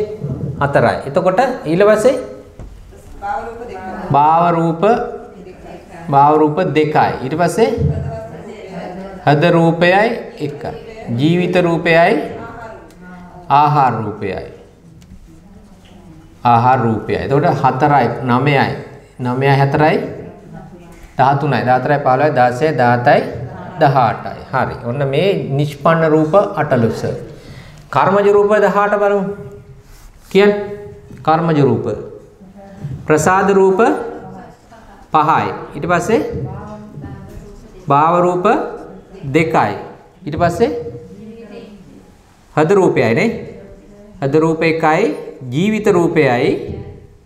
ඊට පස්සේ අතන පඨවි ආපෝ තේජෝ වායෝ. මහා රූප නෑ මහා මහා භූත රූප හතරයි. වර්ණ ගන්ධ රස ඕජා. වර්ණ ගන්ධ රස ඕජා කියේ ආහාර රූපය. හරිද? රූපයයි ආකාශ ධාතුවයි ධාතුවයි. ආන්න දාකාශ ධාතුව මෙතන නැහැ. ආන්න එක තමයි වෙනස. ඔන්න අපිට දහුණා නේද? මෙතන මෙතන තියෙන ශබ්ද රූපය. හරිද? මෙතන ශබ්ද රූපය තියෙනවා. මෙතන ඒ වෙනුවට ආකාශ ධාතුව තියෙනවා ශබ්ද රූපය නැහැ. හරිද? අයි කියනවා කර්මජ රූප 18ක් තියෙනවා. කර්මජ රූප 18 එකේ කර්මයෙන් උපදින රූප 18. ඒතර ඒ රූප 18 18 ශබ්ද රූපය නැහැ. ශබ්ද රූපය නැහැ. ශබ්දය කර්මයෙන් උපදින්නේ නැහැ. ශබ්දය කර්මයෙන් උපදින්නේ නැහැ. හරිද? ශබ්දය උපදින්නේ කොහෙන්ද? චිත්තේනුයි ඍතුවෙනුයි. චිත්තේනුයි ඍතුවෙනුයි. අපේ ඇඟෙන් අපි උපදින කටහඬ මොකද්ද? චිත්තජ රූපය. අර එළියෙන් හුලගේ සද්දේ ඔක්කොම මොනවද? නෑ. ඍතුජ රූප. ඍතුජ රූප. හරිද? දැන් මම මේ කටින් උපදින්නේ මොකද්ද? චිත්තජ රූපයක්. ඒක අරකින් ඇහෙනකොට ඇහෙන්නේ දැන් මං මං කියන එක කටිනුත් ඇහිලා අරකිනුත් ඇහෙනව නේද? ඔය ඒකෙන් උපදින්නේ ඍතුජ රූපයක්. ඒකෙන් ඇහෙන්නේ ඍතුජ රූපයක්. මේකෙන් ඇහෙන්නේ චිත්තජ රූපයක්, තිච්ඡද රූපයක්. හරි නේද? චිත්තජ රූප, ඍචුද රූප ඒක කර්මජ රූපයක්ද? නෑ නෑ. ආ ශබ්දේ කර්මජ රූපයක් නෙවෙයි. පැහැදිලිද? එතකොට මෙතන මේ නිෂ්පන්න රූප 18 ශබ්දය තියෙනවා. නිෂ්පන්න රූප 18 ශබ්දය තියෙනවා. කර්මජ රූප 18 ශබ්දය නැහැ. එතකොට මේකෙන් කියන්නේ කෙලින්ම උපදින කෙලින්ම ඒකෙන් උපදිනවා එක්ක කර්මයෙන් චිත්තයෙන් ඍතුවෙන් ආහාරයෙන් මොකෙන් හරි කෙලින්ම උපදින උපද්දනවා නම් අන්න ඒවට කිව්වා නිෂ්පන්න රූප කියලා. කෙලින්ම උපදිනවා නම් ඒකෙන්ම හේතුවක් වෙලා උපදිනවා නම් ඒවට තමයි කිව්වේ නිෂ්පන්න රූප කියලා. කර්මයෙන් විතරක් උපදින ඒවා 18ක් තියෙනවා. ඒකේ වෙනස තියෙන්නේ ශබ්දය නෑ ඒකේ. ශබ්දය කර්මජ රූපයක් නෙවෙයි. හැබැයි ආකාශ ධාතුව මේ කර්මජ රූපයක් විදියට ගන්නවා. ආකාශ ධාතුව කර්මජ රූපයක් විදියට ගන්නවා. ඇත්තට කර්මයෙන් උපදින එකක් නොවුනට රූප කලාපතරේ තියෙනවා පරිච්ඡේද අවකාශය කියලා එකක්. ඒ කියන්නේ කලාප අතරේ ඉන්න එක ඒකත් අපි කර්මයෙන් උපදිනවා කියලා එකක් කියන ගන්නවා. ඒතර වෙනස දැනගන්න ඕන කර්මජ රූපවල ආකාශ ධාතුව අඩංගුයි ශබ්දය නැහැ. නිෂ්පන්න රූපවල ආකාශ ධාතුව නැහැ. ශබ්දය තියෙනවා. ඒතර දෙකම 18යි. දැන් හරි නේද? පැටරුණ එක හරි නේද? හරි. හරි. එතකොට අපි පාඩමට එනව නැවතත්. එතකොට විදර්ශනා භාවනා ක්‍රමයේ ක්‍රමයේ අපි 113 පිටුවේ තුන්වෙනි පරිච්ඡේදයට යනවා. රූප කලාප එක් වූ තැන්හි හතරැස් බව, පැතලි බව, සිහින් බව, බර බව, උස් බව, මිටි බව ආදී සටහන්ද පෙනෙන්නේය. ඒ සටහන් පෙනෙන තැන්වලද රූප කලාප හැර සත්‍ය වශයෙන් අන් කිසිවක් නැත. සත්‍ය වශයෙන් නැතිව ඇතිසේ සිතට වැටහෙන ඒ සටහන සංස්ථාන ප්‍රඥප්තිය. ඒ කියන්නේ සටහන්. ඒ රූප කලාප එක් වෙලා අර එකේ හැඩයක් හැදිලා තියෙනවා. හතරැස් බවක්, දිග බවක්, පැතලි බවක්, සිහින් බවක්, උස බවක්, බර බවක්, මිටි බවක් හැදිලා තියෙනවා. අන්න ඒකට සටහන. ඉතින් ඒකෙදි සටහනක් හැදිලා තියෙනවා. මොකක් හරි සටහනක් හැදිලා ඒ සටහනට අපි එහෙම එකක් තියෙනවා කියලා මේ මිනිස්සයගේ හැඩේ තියෙන එකේ මිනිස්සයා කියලා සටහනක් හදාගෙන තියෙනවා අපි. මේසය කිව්වහම මේසය වගේ සටහනක්. ඊට පස්සේ තවත් තවත් එකක් මේ දැන් අපි අපිට හෙවණැල්ලෙන් නිකන් මොකක් හරි හෙවණැල්ලක් තියෙනකොට මේ තියෙන්නේ මොකද්ද කියලා ඒ හෙවණැල්ලෙන් කියනව නේද? ඒ කියන්නේ කොහොමද? සටහනෙන් කියන්නේ. සටහනෙන් කියන්නේ. සෙට් හෙවණැල්ල පේන්නේ නිකන් කළු පාට එකක් විතරයිනේ තියෙන්නේ. නේද?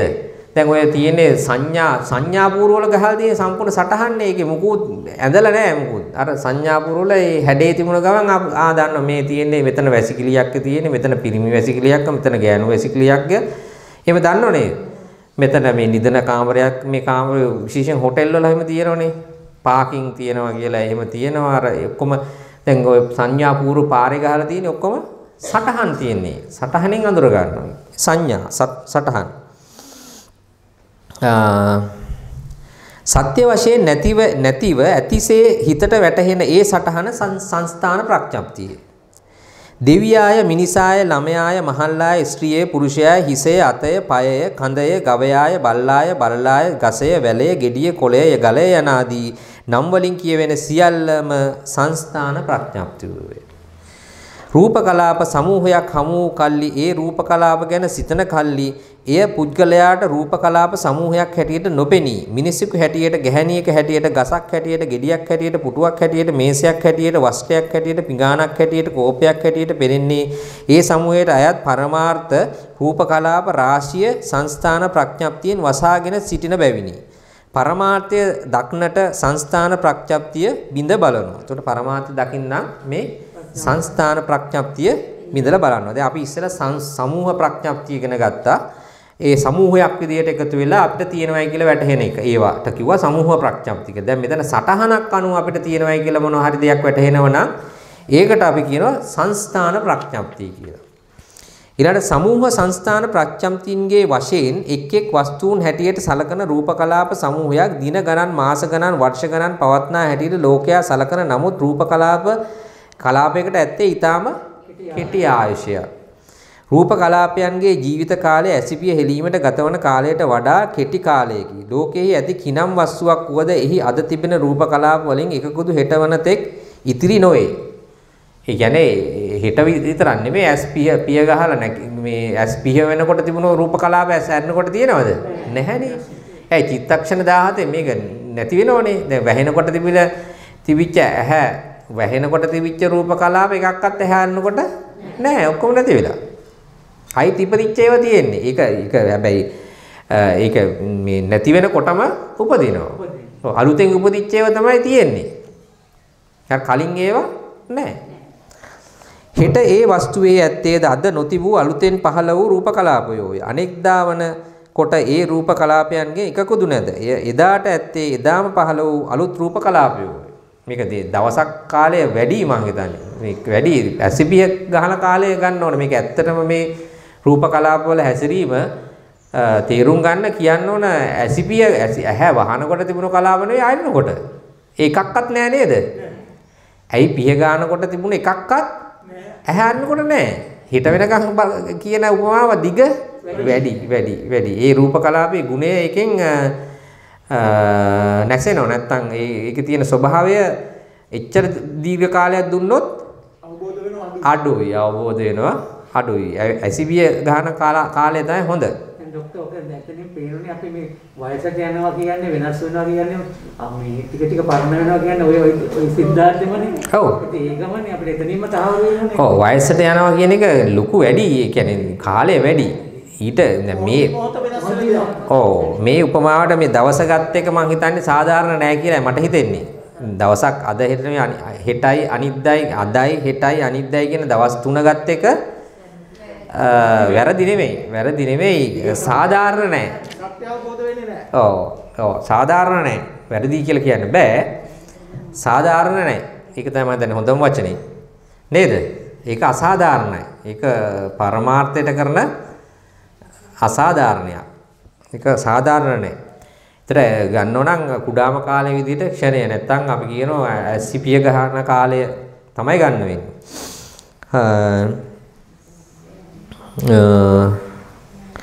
රූප කලාප සෑම රූප කලාපයක්ම ඇසිපිය හෙළන කාලයටත් වඩා කොට කාලයකදී ඉපිද නිරුද්ධ වන නමුත් නිරුද්ධ වීමට මත්තෙන් Taman වැනි තවත් කලාප එකක් හෝ වැඩි ගණනක් ඇති කොටම නිරුද්ධ වන බැවින් කොතෙක් රූප කලාප නිරුද්ධ වූවත් වස්තුවේ අඩුවක් නොපෙනේ. මොකද ආයෙත් ඒ එක නිරුද්ධ වෙනකොට නැවත වතාව උපද්දගෙන තමයි නිරුද්ධ වෙන්නේ. පෙනෙන්නේ එක්වම පවත්නා ලෙසය. රූප කලාපයන්ගේ අතරක් නොපෙනෙනසේ වේගයෙන් බිඳී අභිනව කලාපයන් හටගන්නා ස්වභාවයට සන්තති ප්‍රඥප්තියයි කියනු ලැබේ.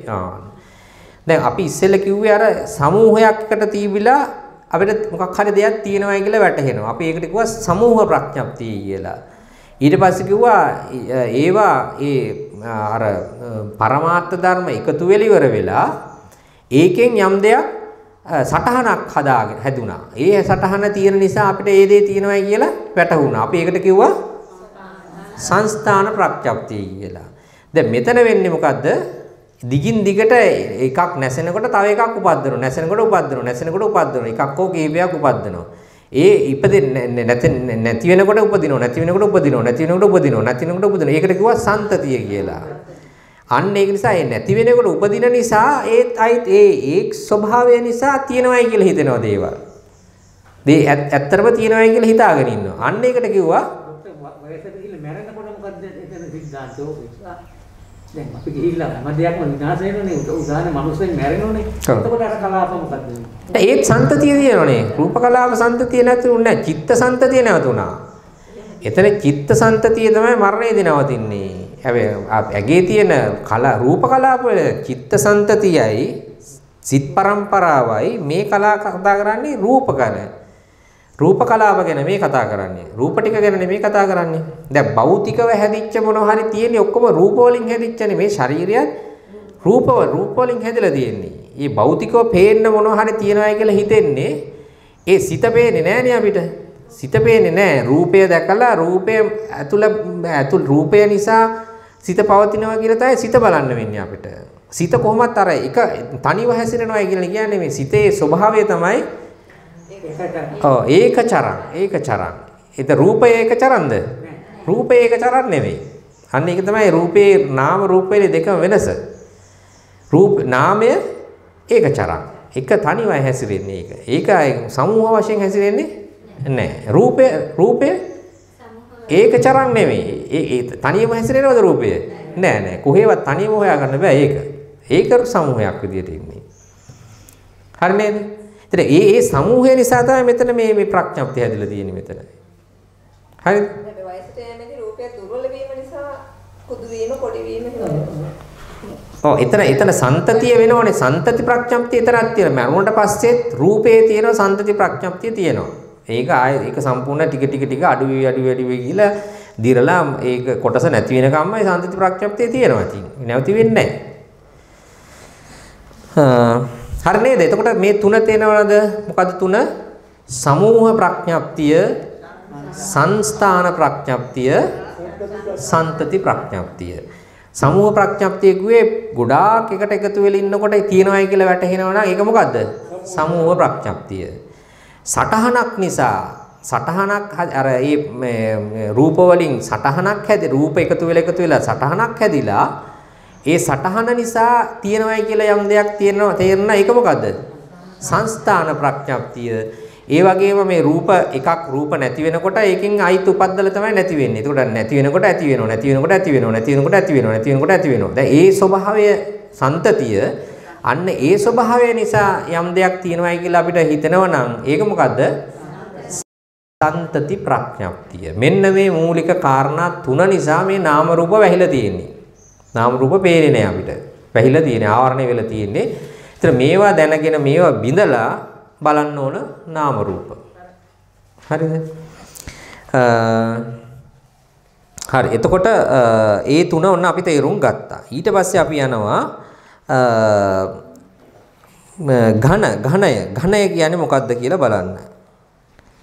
ඝනය කිව්වේ මොකද්ද? ඝන සතර. ඉතින් 126 පිටුවේ පිටුවට යන්න ඝන හතරක් තියෙනවා. දැන් අපි මූලික වශයෙන් සන්තති තුනක් ගැන කතා කරා මේ අපිට මේ මේ නාම රූප වැහිලා තියෙන සන්තති තුනයි මේ මේ ප්‍රඥප්ති තුනයි ප්‍රඥප්ති තුනක් ගැන අපි කතා කරේ. ප්‍රඥප්ති තුන තමයි සමූහ ප්‍රඥප්තිය සංස්ථාන ප්‍රඥප්තිය සහ සන්තති ප්‍රඥප්තිය. ඒ තුන ප්‍රඥප්ති තුන.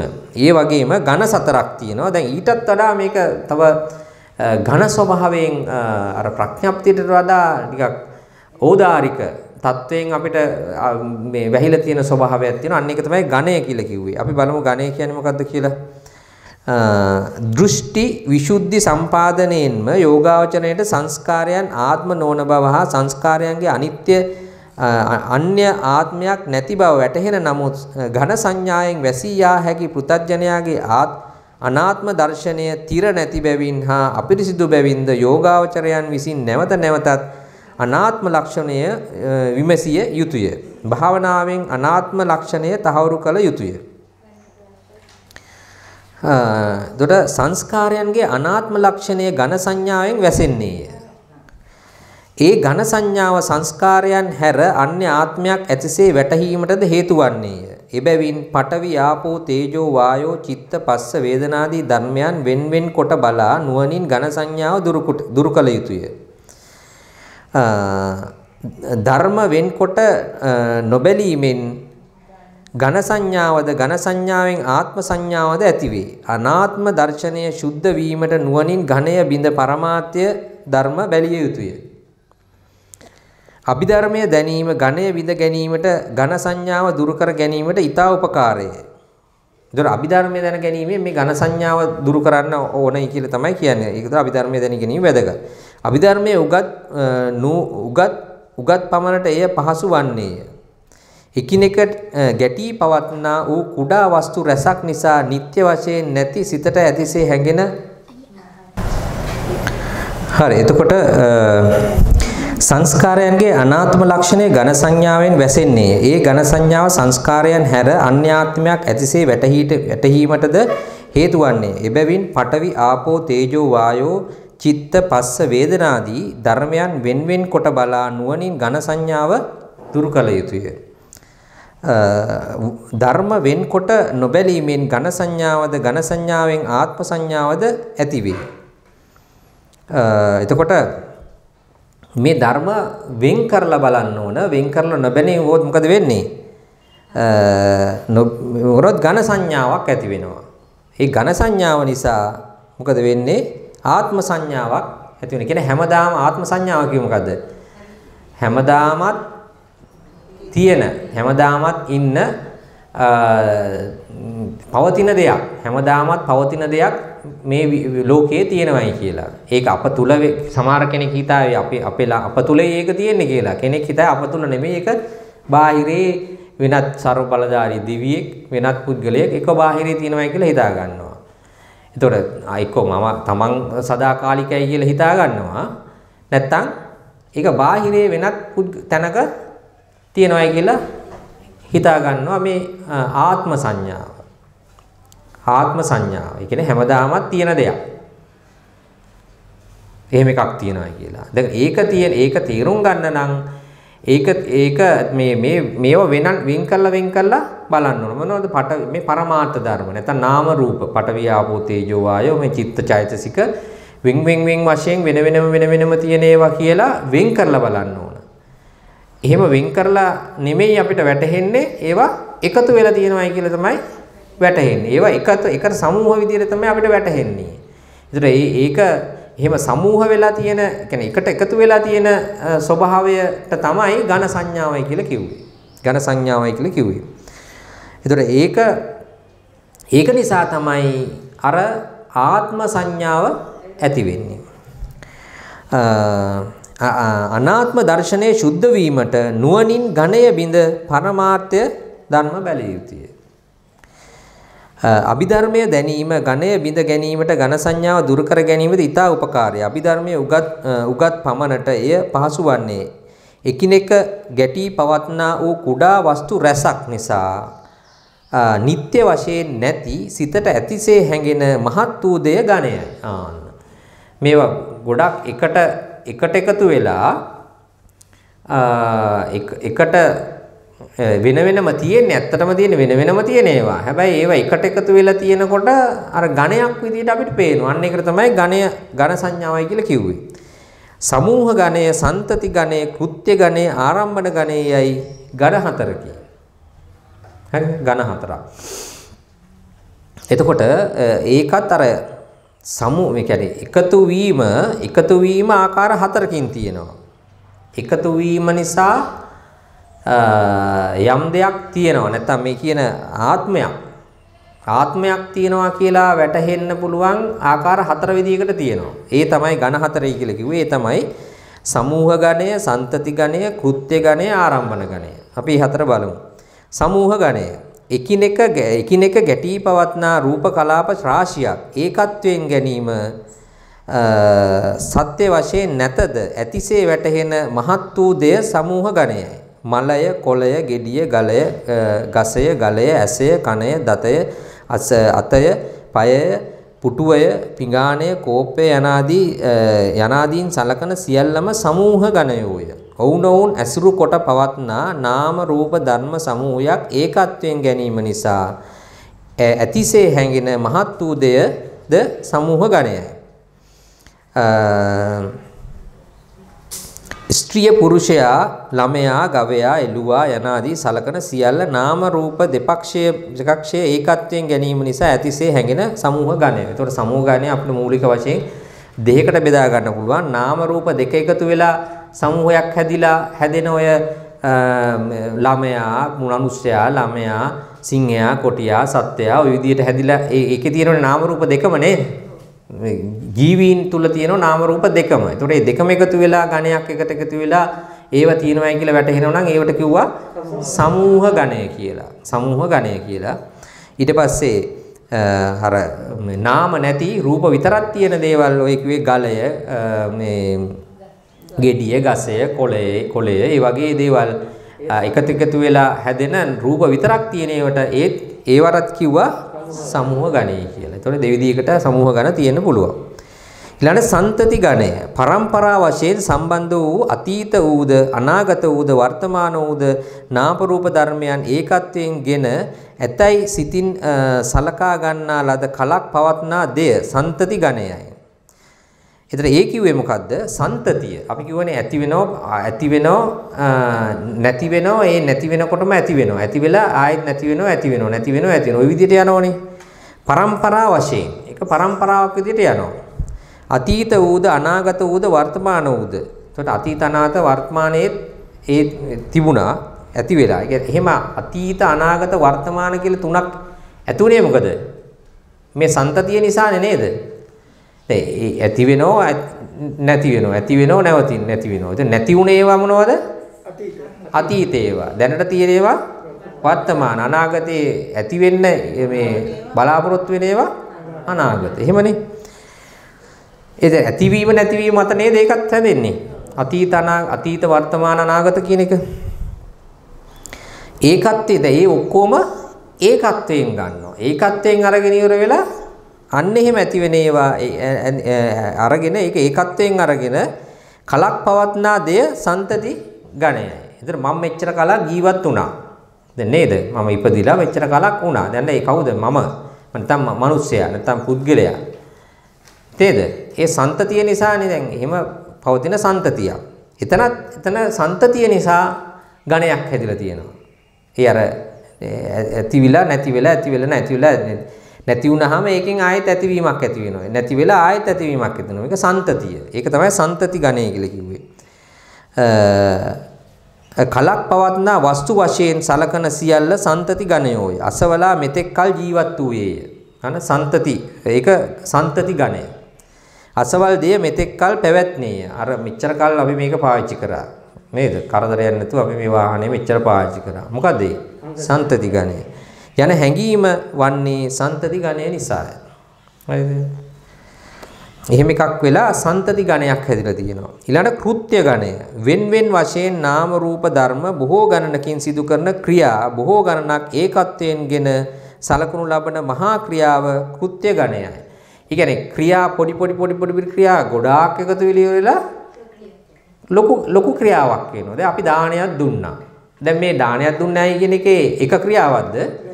නෑනේ ක්‍රියා ගොඩාක් ගානක එකතුවක්. එකතුවක්. එකතු එක ක්‍රියාවක් නෙමෙයි. අපි එකක් විදිහට ගන්නව නේද?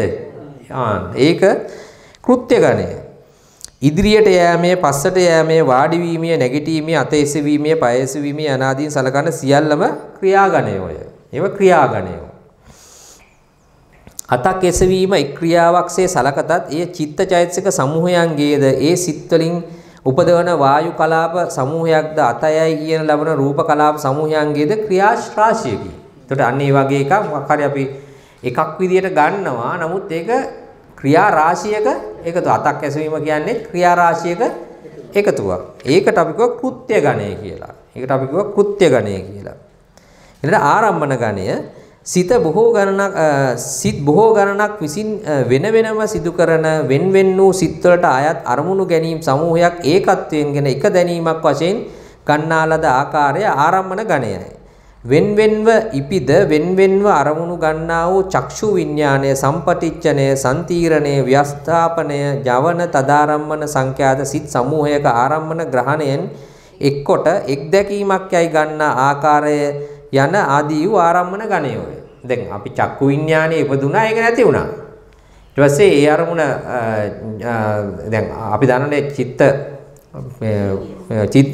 චිත්ත වීතියක චිත්ත වීතියක මොකද වෙන්නේ ඉස්සෙල්ලම පංචද්වාරා වර්ජණය ඊට පස්සේ චක්කු විඥානය ඊට පස්සේ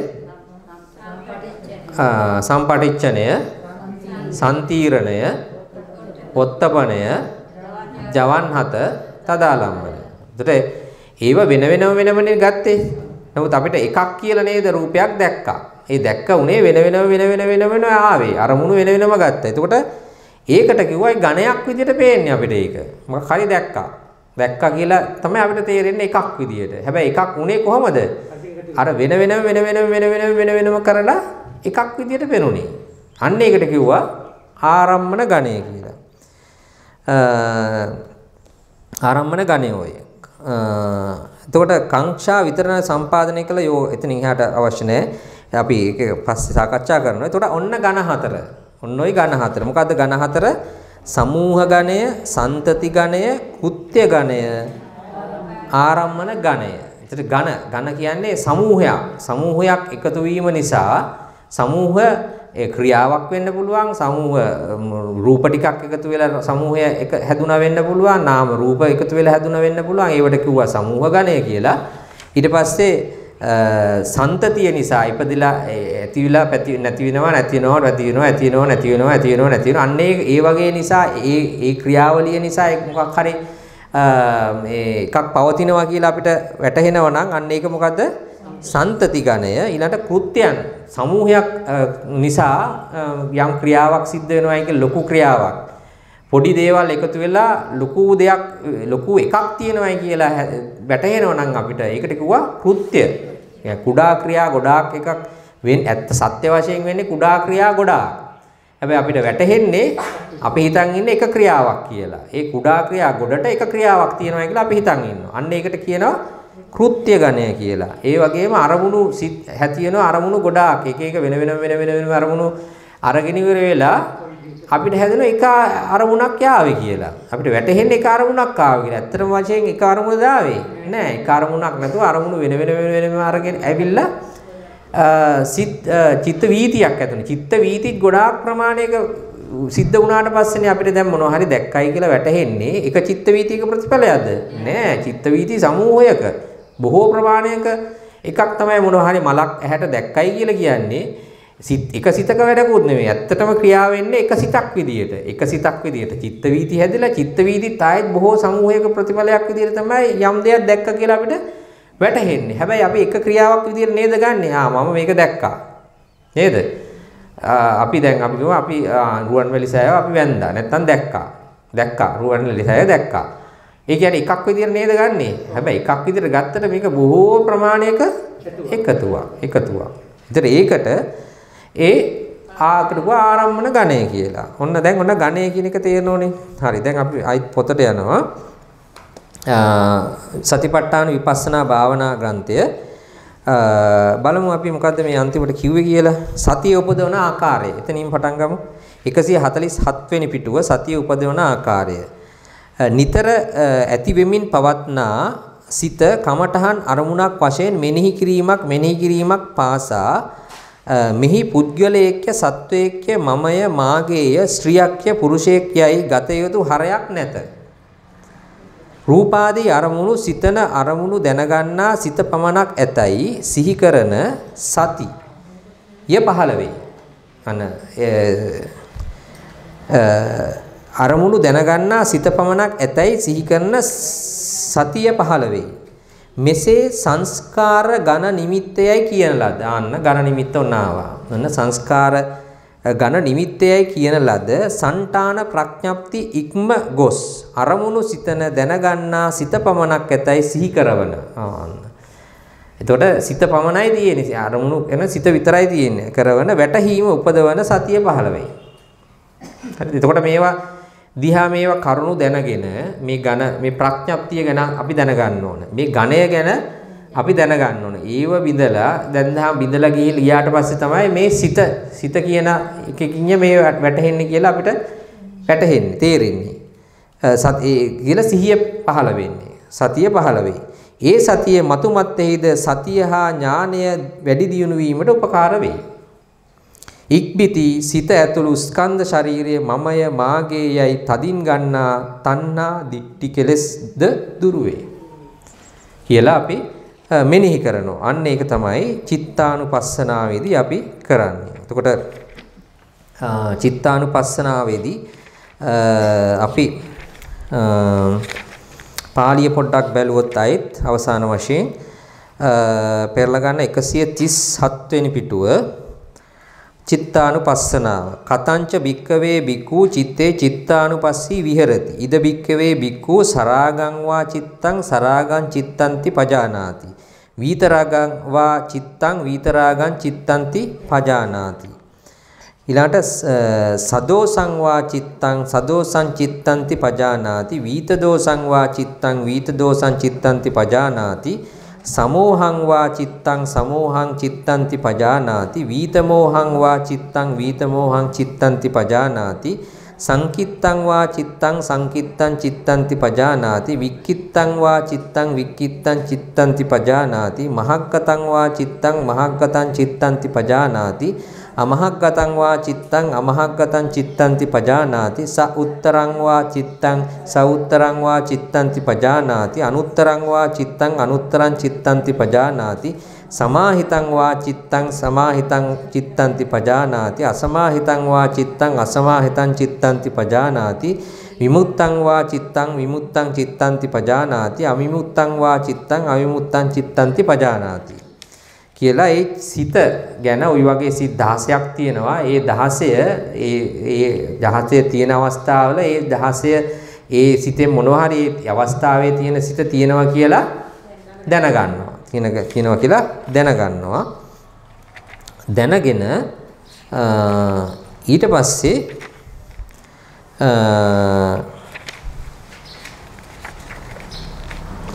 ඊට පස්සේ ඒක තමාගෙත් අනුන්ගෙත් තියෙනවා කියලා දැනගන්න. ඒ ටික තමයි මේ තියෙන්නේ. ඉති අජ්ජත්තං වා චිත්තේ චිත්තානුපස්සී විහෙරති. බහිද්ධා වා චිත්තේ චිත්තානුපස්සී විහෙරති. අජ්ජත්ත බහිද්ධා වා චිත්තේ චිත්ත චිත්තානුපස්සී විහෙරති. හරිද? ඒ කියන්නේ තමන්ගේ තියෙන බව දැනගන්නවා, අනුන්ගෙත් තියෙන බව දැනගන්නවා. තමන්ගෙත් අනුන්ගෙත් මේ විදිහට සිත් ඇති වෙන බව 16 ආකාරයකින් නෙමෙයි ඒ ඒ 16 ආකාරයකින් ඒ අවස්ථානුකූලව ඒ සිත ඇති වෙන බව දැනගන්නවා. ඊට පස්සේ සමුදය වය දැනගන්නවා. සමුදය ධම්මානුපස්සීවා චිත්තස්මින් විහෙරති වය ධම්මානුපස්සීවා චිත්තං චිත්තස්මින් විහෙරති සමුදය වය ධම්මානුපස්සීවා චිත්තස්මින් විහෙරති. ඒ කියන්නේ මේ සිත ඉපදීම ඉපදීමක් සිද එතන ආර්මේ ඉපදීමක් තියෙනවා ඒක නැතිවීමක් තියෙනවා කියලා දැනගන්නවා. ඒක තමාගෙත් දැනගන්නවා අනුන්ගෙත් දැනගන්නවා. ඊට පස්සේ කියන්නේ ඉපදීමයි නැතිවීමයි දෙකම තියෙන බව. කියන්නේ ඉපදීමක් තිබෙන බව දැනගන්නවා, නැතිවීමක් තියෙන බව දැනගන්නවා, ඉපදීමක් නැතිවීමක් තියෙන බව එකවතාවෙම දැනගන්නවා. ওই කාරණා දෙක දෙවෙනි එකේ තියෙන්නේ. තුන්වෙනි එකේදී අත්ති චිත්තන්තිවා 50 සජි පච්චපට්ඨිතා හෝති යාවදේව ඥානමත්තාය පටිස්සතිමත්තාය අනිසිතෝච විහෙරති නච කිංචි ලෝකේ උපාදීයති එවං කෝ බික්කේ බික්කෝ චිත්තේ චිත්තානුපස්සී විහෙරති. ඉතින් එහෙම දැනගැනීමෙන් මොකද වෙන්නේ? ඒ ඒ තුල ඥානමත්තාය. ඥානය උපදිනවා. ඒ වගේම සතිය පටිච්චසතිමත්තාය කිව්වේ සතිය උපදිනවා සිහිය උපදිනවා. එතකොට එහෙම එහෙම ඥානය සහ සිහිය උපදවගෙන ඒක නිසා ඒක උපදවගෙන වාසය කරනවා. ඒ වාසය කරනකොට මොකද වෙන්නේ?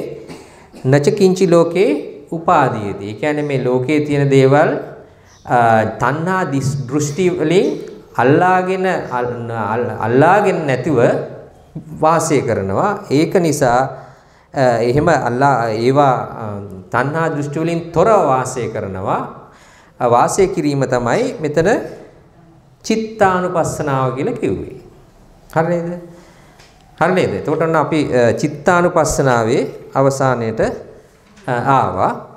ඊට පස්සේ අපිට ලබන සතියේ පටන් ගන්න තියෙන්නේ ධම්මානුපස්සනාව. එහෙනම් අද දිනේට අපි වැඩසටහන අවසන් කරනවා. සියලු දෙනාටම තෙරුවන් සරණයි.